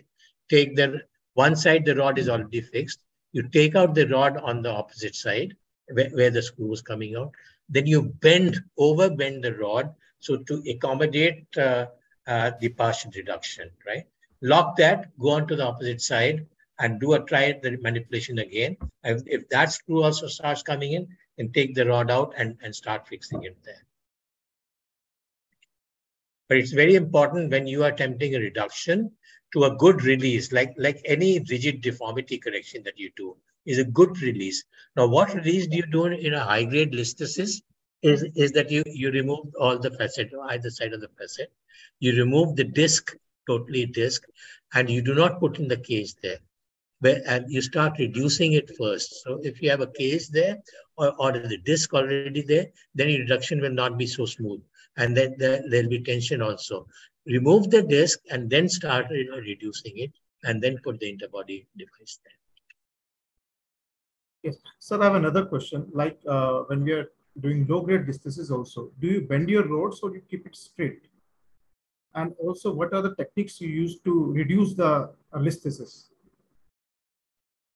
Uh, one is positioning. When you position the patient in the GA, you, you, uh, your, your, uh, if you if you bend your hips slightly more, even if you have in a prone position, if you bend your uh, hips slightly more, you'll have you'll get almost uh, in in GA, especially in in mobile rotobile listhesis, you'll get 0.5 to 1 grade reduction on its own there itself right? And I do not keep my rod straight. I bend the rods in, and and when you when you do the reduction, then then uh, you know the thing is that you you try to rock it back, and if it is more than two degree uh in grade two, then we we normally take L4 also and reduce it fully. And but you if you want to just have a monosegment fixation, then you, you can cut the rod out at L4 uh, because you haven't damaged the capsule there. You just cut it out, use L2, L4 to reduce your thing, and then leave it as, as L5 S1 fixation. Abhishek, you'd like to add anything more? No, sir. I think uh, you know. I mean, you have you have already described it very nicely. Tarun. Uh, Sir, uh, just one thing, the second question was there, there when to stop reduction in high-grade listhesis.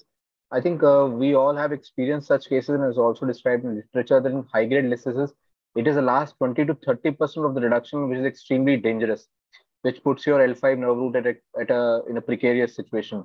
And uh, there are lots of cases where there may not be an immediate drop in the signals or an immediate neuro deficit, but these patients, they have a delayed postoperative L5 nerve root palsy which occurs at about 40 to 72 hours later.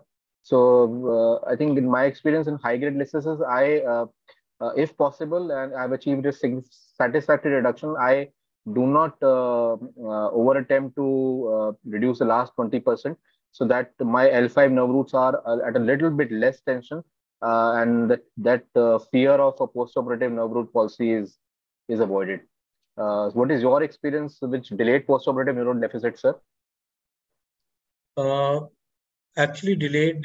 We have not had problems with with delayed uh, uh with delayed uh, uh, nerve root palsy. Problems have been there. Almost forty percent is uh, severe leg pain or hamstring tightness, right? Which over a period of time would go back. If you have to have a neurological deficit, it occurs on the table and your things, uh, you know, this thing is showed, it does show up, you know, and you're right. It it immediately uh, by the time you close, it should may not show up, but but uh, before you you supine the patient, it would you normally show up. Now the the the controversy about leaving the last twenty percent reduction intact or not is very, very controversial, you know. You, you can still get a get a palsy on the table itself. If uh, it's not the reduction, but it's also a lot of people are saying it's the it's the lumbar uh, lumbar fascia where, where the nerve, nerve root is exiting out that we get the stretch. That can stretch can happen at any time, you see. So, so it's not the last. You're right. Majority of the uh, neurological deficit will happen there. But if you uh, uh, if you are sort of monitoring it, and uh, I would personally will not stop purposely at, at 20 degree less. If I have to, if I'm reducing it, I'll go all the way. So another question. Uh, what are your indications for using reduction screws? If say it is a low grade listhesis, do you usually use reduction screws or you get it with normal screws? No, I mean, I mean, see what happens is if you're using a reduction screw, that that is helpful if you're if you're using a span a span rod. That means if you're using L4 and S1, then a reduction screw in L5 would help you. But if you if you're just using a low grade a reduction screw, you know, then, what will happen is is your if you're not able to reduce the L, L L5 over S1, uh, you you may you may still put the rod in, but but in that case the the L5 vertebra will tilt. You understand? So so what we we try to do is, is hold the the S1 and the sacrum in a vertical position, the S1 screw vertical to the sacrum, and then try to reduce your L4. You can use a you, uh, you can use an L5 uh, reduction screw in that way, but if you use a, a, reduction screw on both L5 as well as S1, then in a in a high in a low grade listhesis, it will tend tend to slip forward. You understand what I'm saying? Yes, sir. Yes, sir. Uh, my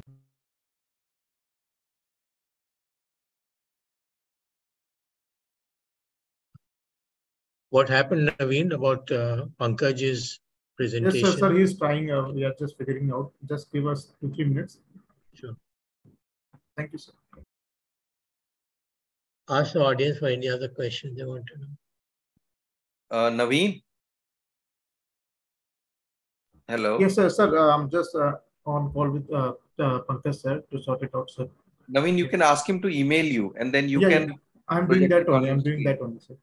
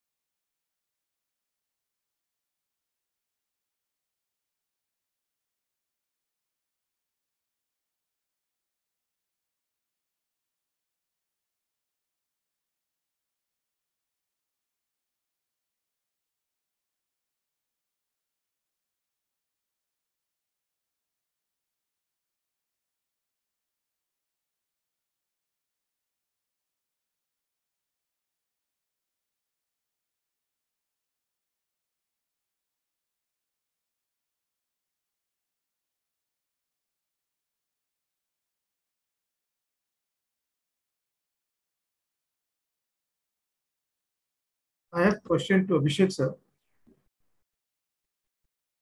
Abhishek, yes, sir? Naveen. Yeah. So how often do you do this screening MRI for all your patients of this lumbar disc? Because as we stay in the smaller cities, the like financials are an issue. We cannot get uh, this screening MRI for each and every patient of ours. So well, actually, Naveen, in smaller cities also, people are giving you one uh, sagittal film. Yes, sir. So, and anyway, as a part of routine MRI screening also, in smaller cities also, they have to do one scan, sagittal scan for counting. Yes, sir. They do it as a standard thing. It's just that you have to call them and ask them to give you that film. That they're routinely giving, sir. Yeah, yeah. So you don't need to have a separate film for that unless you suspect something in that. Mm. But you can ask, call the center, and they. I I think in it's easier in smaller cities than in big cities. Yeah, they will be very happy to give you a, you know, at least a screenshot or tell you that there's nothing there and and and they they try to not give that uh, image to you because uh, you know putting it on a film is a bit bit more expensive yeah. so you can ask them to routinely give it on on a photo, photographic paper you know so at, at least one thing that will help you. Yes, sir. Okay. Um, I, I'm sorry for the delay. I just hope I, I stick to time. Um, is my slide uh, visible? Yeah, yeah, Pankaj, go ahead.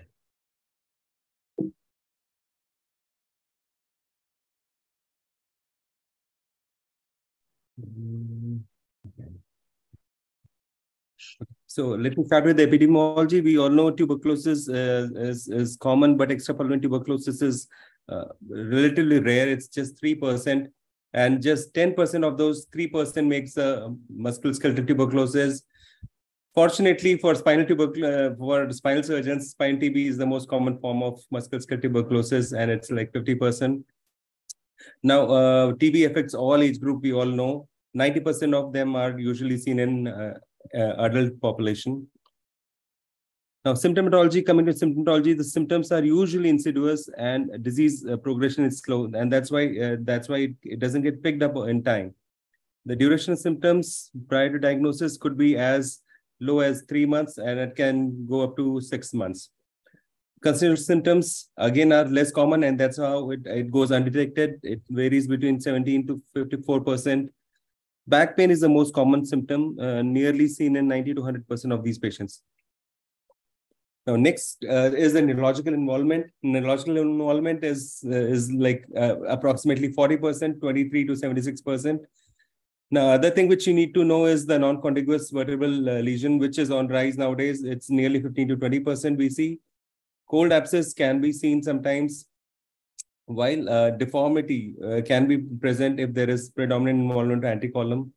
Deformity would be in form of either knuckle, angular, or round kyphos kyphosis. Now, looking at the neurological deficit, the incidence uh, is uh, somewhere between 20 to 41%. And uh, what we commonly call as paraplegia of early onset, which is commonly seen in active disease within two years of treatment. Usually it is by the pus, granulation tissue, or it could be caseous material. Sometimes pathological subluxation dislocation can give rise to paraplegia, and rarely uh, thrombosis or uh, and uh, arthritis can give rise to paraplegia. So we all uh, are groping in dark, especially when the symptoms are, uh, are less and, and if there is no deficit. Next investigation which you come across is the X-ray, which should be the first investigation. And things you need to look for in an X-ray are uh, decrease in disk space, destruction of end plates, fuzziness of the margins. You can also come across demineralization of the vertebra, there could be obvious kyphotic deformity, and uh, obviously you should not uh, miss out on the on the obvious uh, uh prevertebral shadows. MRI is the investigation choice, and uh, it can it's one of the most sensitive investigations for uh, to detect infection in spine. You can look for hyperintense signals on T1 and hyperintense on T2 weighted images you can uh, look at this MRI. This is a T2 and a T1 uh, SAG, where you can see hyperintense signal uh, bone marrow signal along with collection, which is T2 hyperintense and T1 hypo. You can also see end plate erosions, sub subligamentous collections, and and uh, that's how you come to uh, a diagnosis that you are looking for a uh, for uh, infective spondylodiscitis. CT scan not very commonly done, but in case you're planning surgery or you're planning biopsy, this can come handy and it can also tell you which vertebra you can skip or which part of the vertebra you need to take biopsy from. The other newer investigations which are coming up are uh, are the are the you know the the quantitative MRI or the DTI, which is commonly done. We have done some work on DTI and how DTI can can help us, uh, if not diagnose, at least it can help us prognosticate the uh, the recovery, neurological recovery. Now, there are series of bacteriological investigations which are must uh, when you are looking for a patient of spinal tuberculosis. One is AFB smear. Now, the sensitivity of AFB smear could be low, uh, and uh, and and uh, but it's one of the important part of the battery. Histopathology is the gold standard. Sensitivity can go up to 72 to 97 percent. What you need look for in histopathology is either uh, granulomas, epithelioid cells, or you look for caseous necrosis with granulomas, Langerhans cells, and uh, with peripheral lymphocytic infiltration. So these are something which are consistent with tuberculosis. Just reactive hyperplasia does not uh, talk about, uh, does not say that this is tuberculosis. Now, this histopathology can be done uh, with a fine needle, can be done with a CT guide biopsy, or uh, when you're doing it open uh, while operating the patient. So all three things are fine. Next important investigations is, is culture and osteoarticular tuberculosis. Uh, traditionally, we had uh, solid culture, and now we, uh, we, are moving on to liquid cultures, uh, which has better turnaround time. We can get early uh, early results, and uh, with the advent of in you know technology, we have MGIT and BACTEC, which is really hastening the entire process. So overall, the speed is speed of growth is quicker with BACTEC MGIT, uh, while the sensitivity goes down, but specificity goes really high. Now, the thing which the uh, the National Tuberculosis Elimination Program is talking about is a CBNAT or gene uh, is a gene based. It's a nucleic acid amplification based test, which is easily done, and it's basically based on real time PCR it not only diagnoses tuberculosis, but it also tells you about drug resistance. Turnaround time is really fast. It's like two hours in a good lab. Uh, it can identify rifampicin resistance, and uh, and that's how uh, CBNAT is uh, one of the tests which is being recommended by by. Uh, it has a high sensitivity as well as fairly good specificity. Line probe assay is the next uh, line of treatment, line, line of investigation. If you are looking for drug resistance, especially it detects not only rifampicin but isoniazid uh, re resistance. The turnaround time can be one to two days in line probe assay. Now, how uh, now uh, with those battery of investigations, obviously you get um, hemogram, ESR, CRPH, all those kind of investigations, and then you go for these advanced microbiological investigations, and uh, and and and then once you arrive to diagnosis, then you think about how the treatment should go. The treatment has evolved, uh, and I'll I'll be just skipping this, and uh, I'll be just talking about what the management majorly is. So uh, everyone has to remember that tuberculosis is a medical disease, and anti-tubercular treatment is the mainstay of treatment. Surgery is required when indicated during the management, but not every patient needs surgery. What are the components of medical therapy? Obviously, we talked about biopsies, and we've been emphasizing on how uh, biopsies and and and uh, the evidence of bacteria in the in the past makes a lot of difference. Then it is followed by antitubercular treatment and uh, palliative medicines and base uh, brace uh, support. So uh, treatment, as I said, is, is the mainstay of treatment. Now, what drugs are given? You give uh, four ma major drugs. First-line drugs are isoniazid, rifampicin, pyrazinamide, ethambutol. It's a combination of bacteriostatic and bactericidal drugs, plus minus streptomycin. Now, how often do you give it? Uh, nowadays, DOTS is talking about daily regimen, and, and DOTS has actually uh, changed the entire scenario of tuberculosis treatment, and uh, it, it improves the patient compliance. It's it's uh, it has lower failure, failure rates, and obviously it comes uh, reasonable uh, with reasonable price for the patients. Now, the controversial thing is uh, the treatment duration is still debatable, and uh, still people have not come to a con consensus. I'll just share my experience. What I follow in my in my clinic is uh, two months of intensive case, intensive phase, which is four drugs, which is followed by continuation phase, which is for 10 months, uh, three drugs.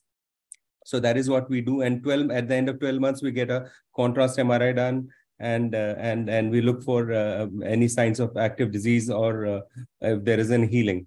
Now, PET scan and uh, PET CT has come uh, recently in uh, as, as a newer investigation to tell you whether it's time for you to stop antitubercular treatment or not. So all in all, I give antitubercular treatment for 12 months and then repeat with a contrast MRI and other blood investigations to see if that antitubercular treatment has to be stopped or you continue.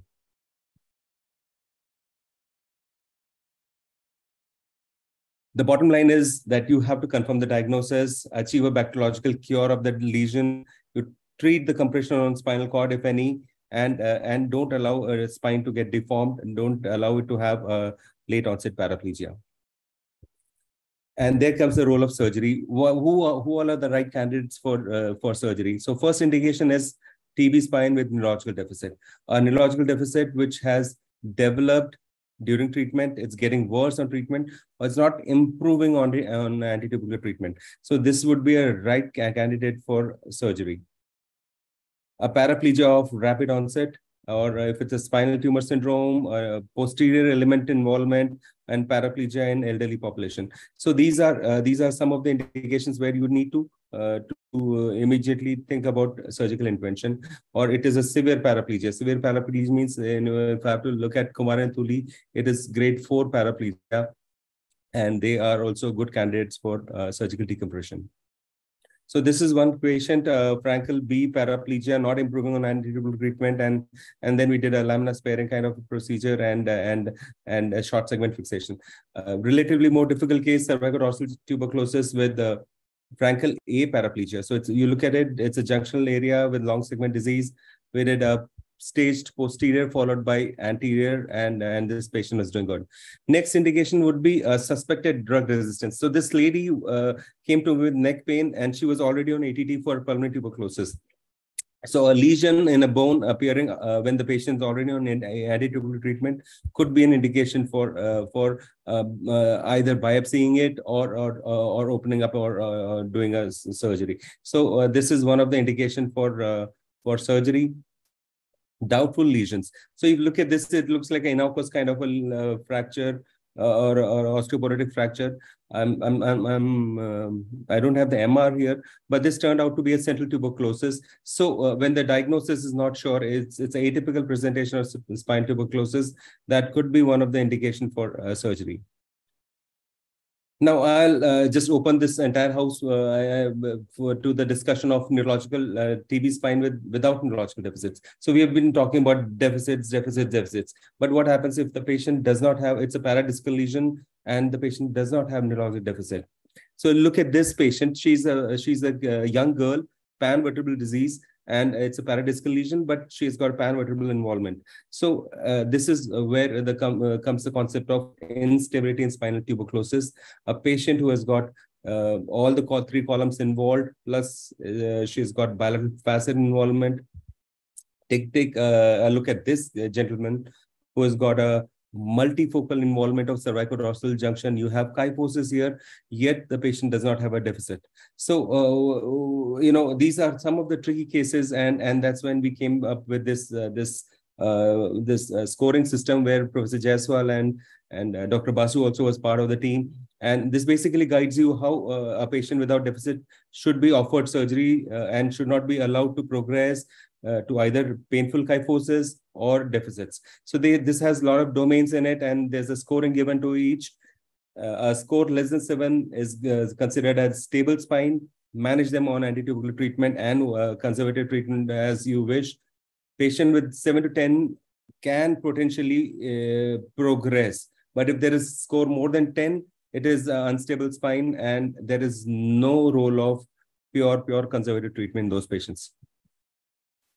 Quickly, some examples. Eight-year-old girl, you look at this, there is four vertebral involvement, 50 degree of kyphosis.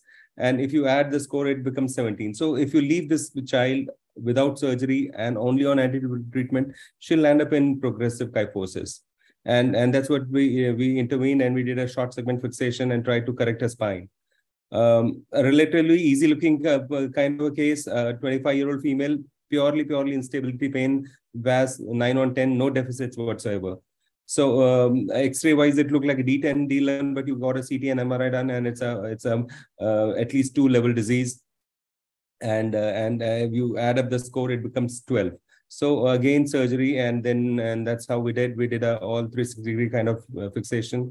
She's doing fairly good, and it's like more than uh, three years follow up uh, with us uh, young girl uh, with uh, again VAS on 8 on 10, she was non-ambulatory. There was no deficit, however, she was not able to walk. Look at the spine, how it's opening up posteriorly.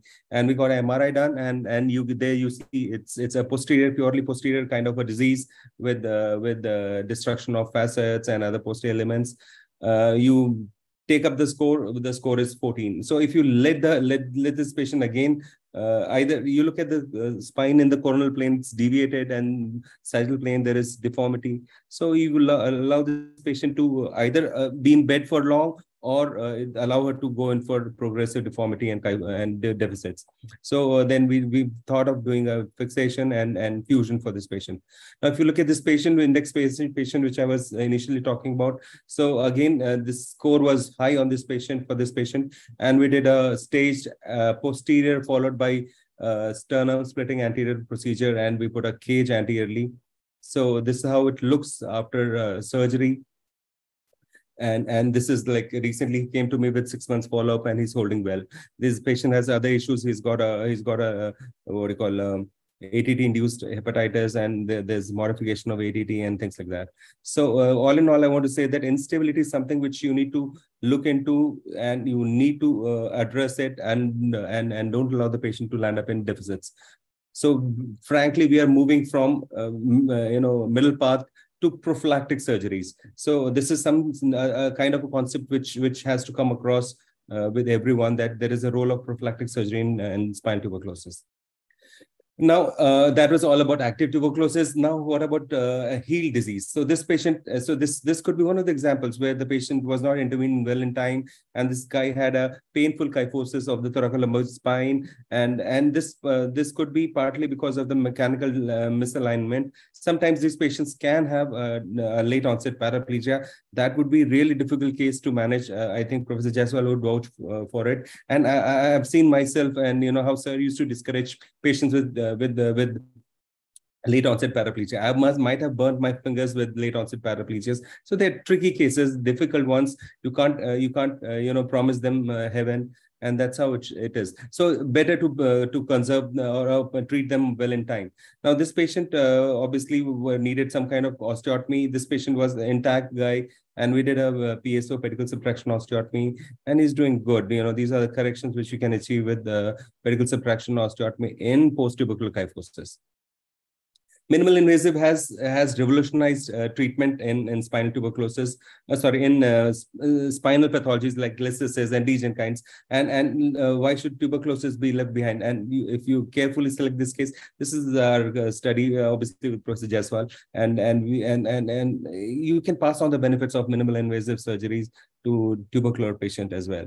It's it's a very good tool especially if you have a good patient selection it can give you excellent results so all in all, I just want to uh, conclude by saying that early detection of uh, of tuberculosis by a good clinical evaluation uh, is a must. There is battery of investigations. Don't shy away. You know, most of you must be in um, practice practice where you want to, you know, um, uh, you you may not be, you may may be shy of, uh, you know, asking for a lot of investigations but trust me most of uh, most of the literature now talks about not one investigation but all those investigations you know the AFB stain culture and other things medical management go uh, as per the ntp guidelines surgery is reserved for severe progressive neurological deficits instability where the diagnostic dilemma or the patients are not responding. Kyphosis prevention is, uh, you know, by early identification risk factors is crucial. I would thank you for your patient hearing, and and these are my some of the publications in uh, spinal tuberculosis. So we have done quite a number of work. We've been doing a lot of, you know, uh, as I was talking to you about uh, diffusion tensor imaging, and and now we are working on uh, on other things like drug resistance pattern and and uh, and uh, anterior reconstruction, things like that. Thank you. I'll be more than happy to take questions now. Thank you, sir, sir, for giving us insight on TB spine. It's a very common problem we encounter in our day-to-day practice. Thank you, sir. Sir, I'd like to have uh, uh, inputs from Jayaswal, sir, on TB spine, as he has also done lots of work on TB spine. Sir, please. Uh, I think Pankaj has covered entire, the entire uh, spectrum of uh, the cases and very nicely presented case in his, and he at the end said he's doing lots of good work in, on tuberculosis, and his scoring system is now been, been recognized internationally. So that that's that. Uh, Pankaj, just a, just a quick uh, uh, word from you on the relevance, importance of uh, doing a biopsy before starting ATT. Do you do uh, biopsy before starting ATT in all tuberculosis cases? That's the burning question. I'd like your opinion on this. So what I follow here is I subject them for biopsy, but I don't put them on therapeutic vacuum. No, no. All the cases are subjected to biopsy. All the all cases, cases the... all the cases, I, I, all the cases I subject them for biopsy. Okay. And sir, what all investigations do you send, sir? Do you send histopathology, GeneXpert, culture, or only GeneXpert, or like the uh, histopathology? See, uh, if if I have adequate samples, I'll send everything, Naveen. But the most important and which is part of NTEP program is CBNAT. CBNAT is like a screening tool nowadays for tuberculosis. So CBNAT is must. However, there are lacunae in CBNAT, especially if you have a uh, tissue. If you have pus, it's excellent. You get good results. But if you have tissues, there are issues with homogenization and you know you can get false uh, reports so i would say uh, a recent paper we published in european spine we, we spoke about role of hpe and cbnat these two should be should be sent if say everything comes out to be negative do you start the patient on ATT or what sir uh, come again if uh, the patient is uh, negative for everything like GeneXpert and histopathology is also not conclusive so do you okay. start the patient on ATT or you go ahead with something else sir? I would repeat a biopsy. I would like to repeat a biopsy, uh, but the patient would continue. So I uh, that's what I said. I, I, don't leave the patient on therapeutic vacuum. I allow him to carry on with those uh, those, those, medicines, but I would like to repeat the biopsy. What what about uh, classical uh, picture MRI picture of a TB spine, prevertebral, paravertebral, paradiscal involvement, abscess, and everything, GeneXpert negative. Once in a while, you'll get some patients, right? And and you know, so what, what would you do in your histopath? You you get uh, you know all the inflammatory thing, including giant cell tumor, no granuloma seen. What do you do? Sir, as I said, obviously, uh, you know, uh, this is like a tricky question. I know we, we, we're going towards, you know, diagnosing on, on clinical radiological. I totally understand that, uh, you know, being an endemic country, most of the cases are tuberculosis, you know, and and there are radiological findings by which you can there are subtle radiological ways by which you can make out if this is pyogenic or this is tubercular. Uh, I would give an attempt for biopsy every time uh, I look at a case of a paradiscal lesion. However, having said that, I would start patient on antitubercular treatment. That's another question coming to your histopath, uh, the criteria which you had mentioned, and Anil Jain has talked about that. You know, uh, you know, you know, which which one would you rely on uh, on most? You know, granuloma is not always seen. Ten percent patients will not show granuloma. How much significance is that? Sir, as I said, if there is reactive hyperplasia, it does not talk about it. Does not say tuberculosis. But if there is a granuloma, caseous material, or or giant cells together, then more or less it's clear. No, no, no, granuloma not there. The other things are there. No, would you start that or? You know, that's just reactive hyperplasia or uh, giant cells? Yeah, yeah, giant cells, reactive hyperplasia, and and, and inflammatory cells. No, that thing are there, but no granulation. There's no granuloma, but yet you have uh, giant cells, multiple giant cells with inflammatory cells, and uh, I, I'll also, sir, I'll also look for, as I said, you know, you, I look at uh, CBNAT and this together. So if okay. CBNAT comes out positive, then I am, I think I'm, I'm rest assured. And CBNAT has excellent sensitivity, as I was talking about, as, as high as 90%. So um, I think CBNAT is something to rely on and you can start on ATT. At the turnaround time, as I was talking is, um, uh, though the text mentions about two hours, but you can get it next day or, uh, you know, within 48 hours. Even the government setups, uh, they're giving it within 48 hours. So it's a quick way of detecting tuberculosis. Uh, sir, I have one question like if the patient's uh, radiological picture is very indicative of TB spine and the patient is not requiring any surgery. So do you subject your such patients for biopsy before starting uh, ATT? Naveen, as I again I'm trying to emphasize that we I subject them for biopsy, yet I start antitubercular treatment based on the clinical radiological uh, okay. findings. Yeah, I do not put them on therapeutic vac vacuum because most of these battery investigations will take long time. No. So uh, thank you, sir, for giving us uh, such a nice insight uh, into this TB spine. Sir, I have a question, sir. Yeah. Yeah. Uh, sir, as you told, you are uh, giving ATT for a year uh, for uh, like uh, intensive phase and continuation phase, including total 12 months. And after 12 months, you uh, proceed with the uh, contrast and MRI. And if you find uh, like psoas abscess in contrast MRI, uh, then how will you proceed, sir? And uh, if you proceed with the ultrasound, uh, ultrasound guided aspiration and it shows sterile pus, then uh, what will you do next? If you uh, you will proceed with the ATT lo longer ATT or what will you do, sir? Okay, I think that's a very good question, and I think Dr. Jayaswal would agree with us with me that sterile abscess can be left alone as long as there is no marrow signal changes as as long as uh, everything has dried up you know you have fatty infiltration of the marrow and there's no intraspinal component uh, intraosseous abscess or uh, abscess in the in the psoas can be just left alone.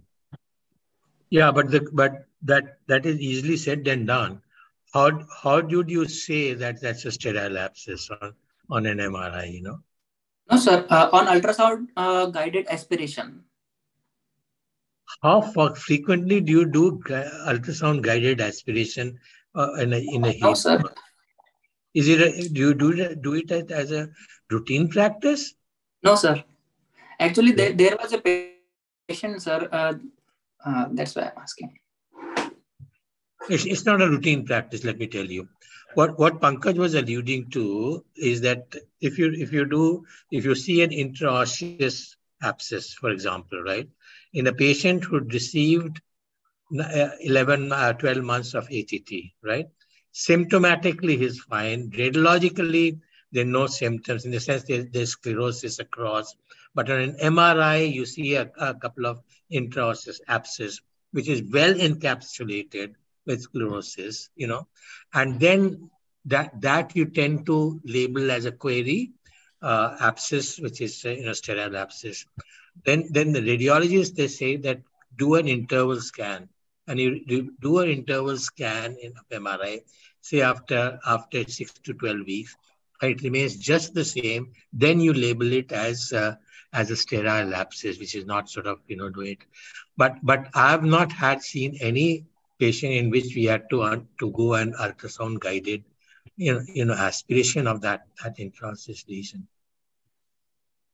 Uh, uh, just one, one, one more uh, question, Naveen. There's, there's a there's a question in the chat, uh, which which Pankaj is, is addressed to you. Can you take that up? Okay, I can't see the chat box, sir. Uh, the okay, question okay, is. Okay.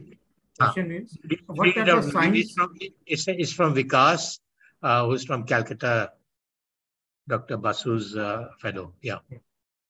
So the question, question is, what are the signs you see post TB fixation at three, six, and nine months? And what all investigations you do in follow-up and one, when? So Pankaj is, is asking post post-op TB fixation, right? How would you evaluate in three, six, and nine months? What investigations? Okay, so uh, I think uh, uh, three six months. Intensive phase i usually the, the again the protocol i follow is i call them every month during intensive phase whether operated or not operated and then subsequently i can call them every three months. The investigations which i usually ask for is, is blood investigations. I would look for um, you know how the esr crp is trending and lft if it is deranging and x-rays that's all i do. I get mri done only at 12 months when I'm planning to stop antitubercular treatment. In the entire process, if there, if I feel that patient is not improving, if there are some major issues with implant and and things like that, then I would definitely go in for MRI and then look for if the patient is developing a new lesion or things like that.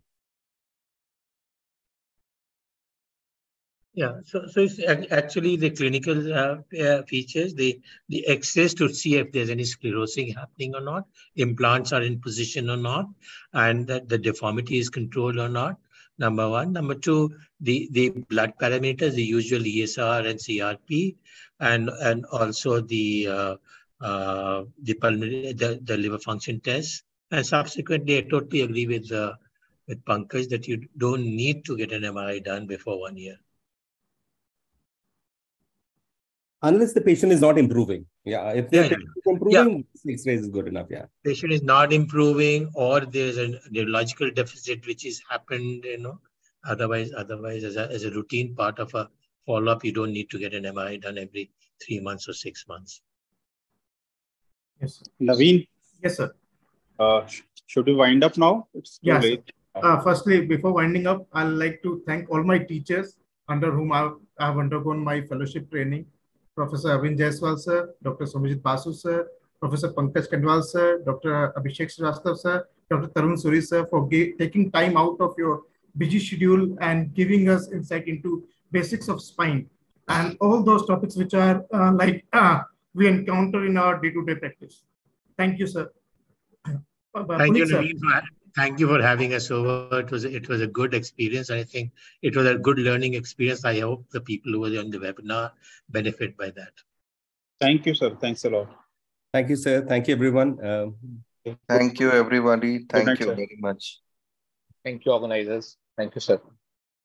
Thank you. Pankaj, did water come in in your campus? No, sir. it's not raining anymore, sir. Yeah, yeah the roads are okay between between Dehradun and uh, Rishikesh? Yeah, yeah, yeah, everything is fine, sir. Everything is fine. Yeah. Okay, great. Thanks, guys. Take care, sir. Take care. Bye bye. Thank you, sir. Good night, sir. Bye bye. Thank you. Bye bye. Doctor Naveen कितने लोगों ने attend किया है webinar ये Puneet sir बताएँगे अच्छा। Sir count करके मैं आपको भी रिप्लाई आएगा ऑर्थो टीवी से मैं आपको बता दूँगा अच्छा नहीं मतलब रफली थोड़ा सा आइडिया लग जाएगा सर कहाँ हाँ, स्क्रीन कहाँ ऑफ़ कर रखी है आपने? हाँ? स्क्रीन क्यों ऑफ़ कर रखी है आपने? सो रहे हो क्या? नवीन रिकॉर्डिंग चल रहा है। Okay okay okay okay sir thank you okay okay bye good night thank you very much once again to everybody bye good night Have a good night.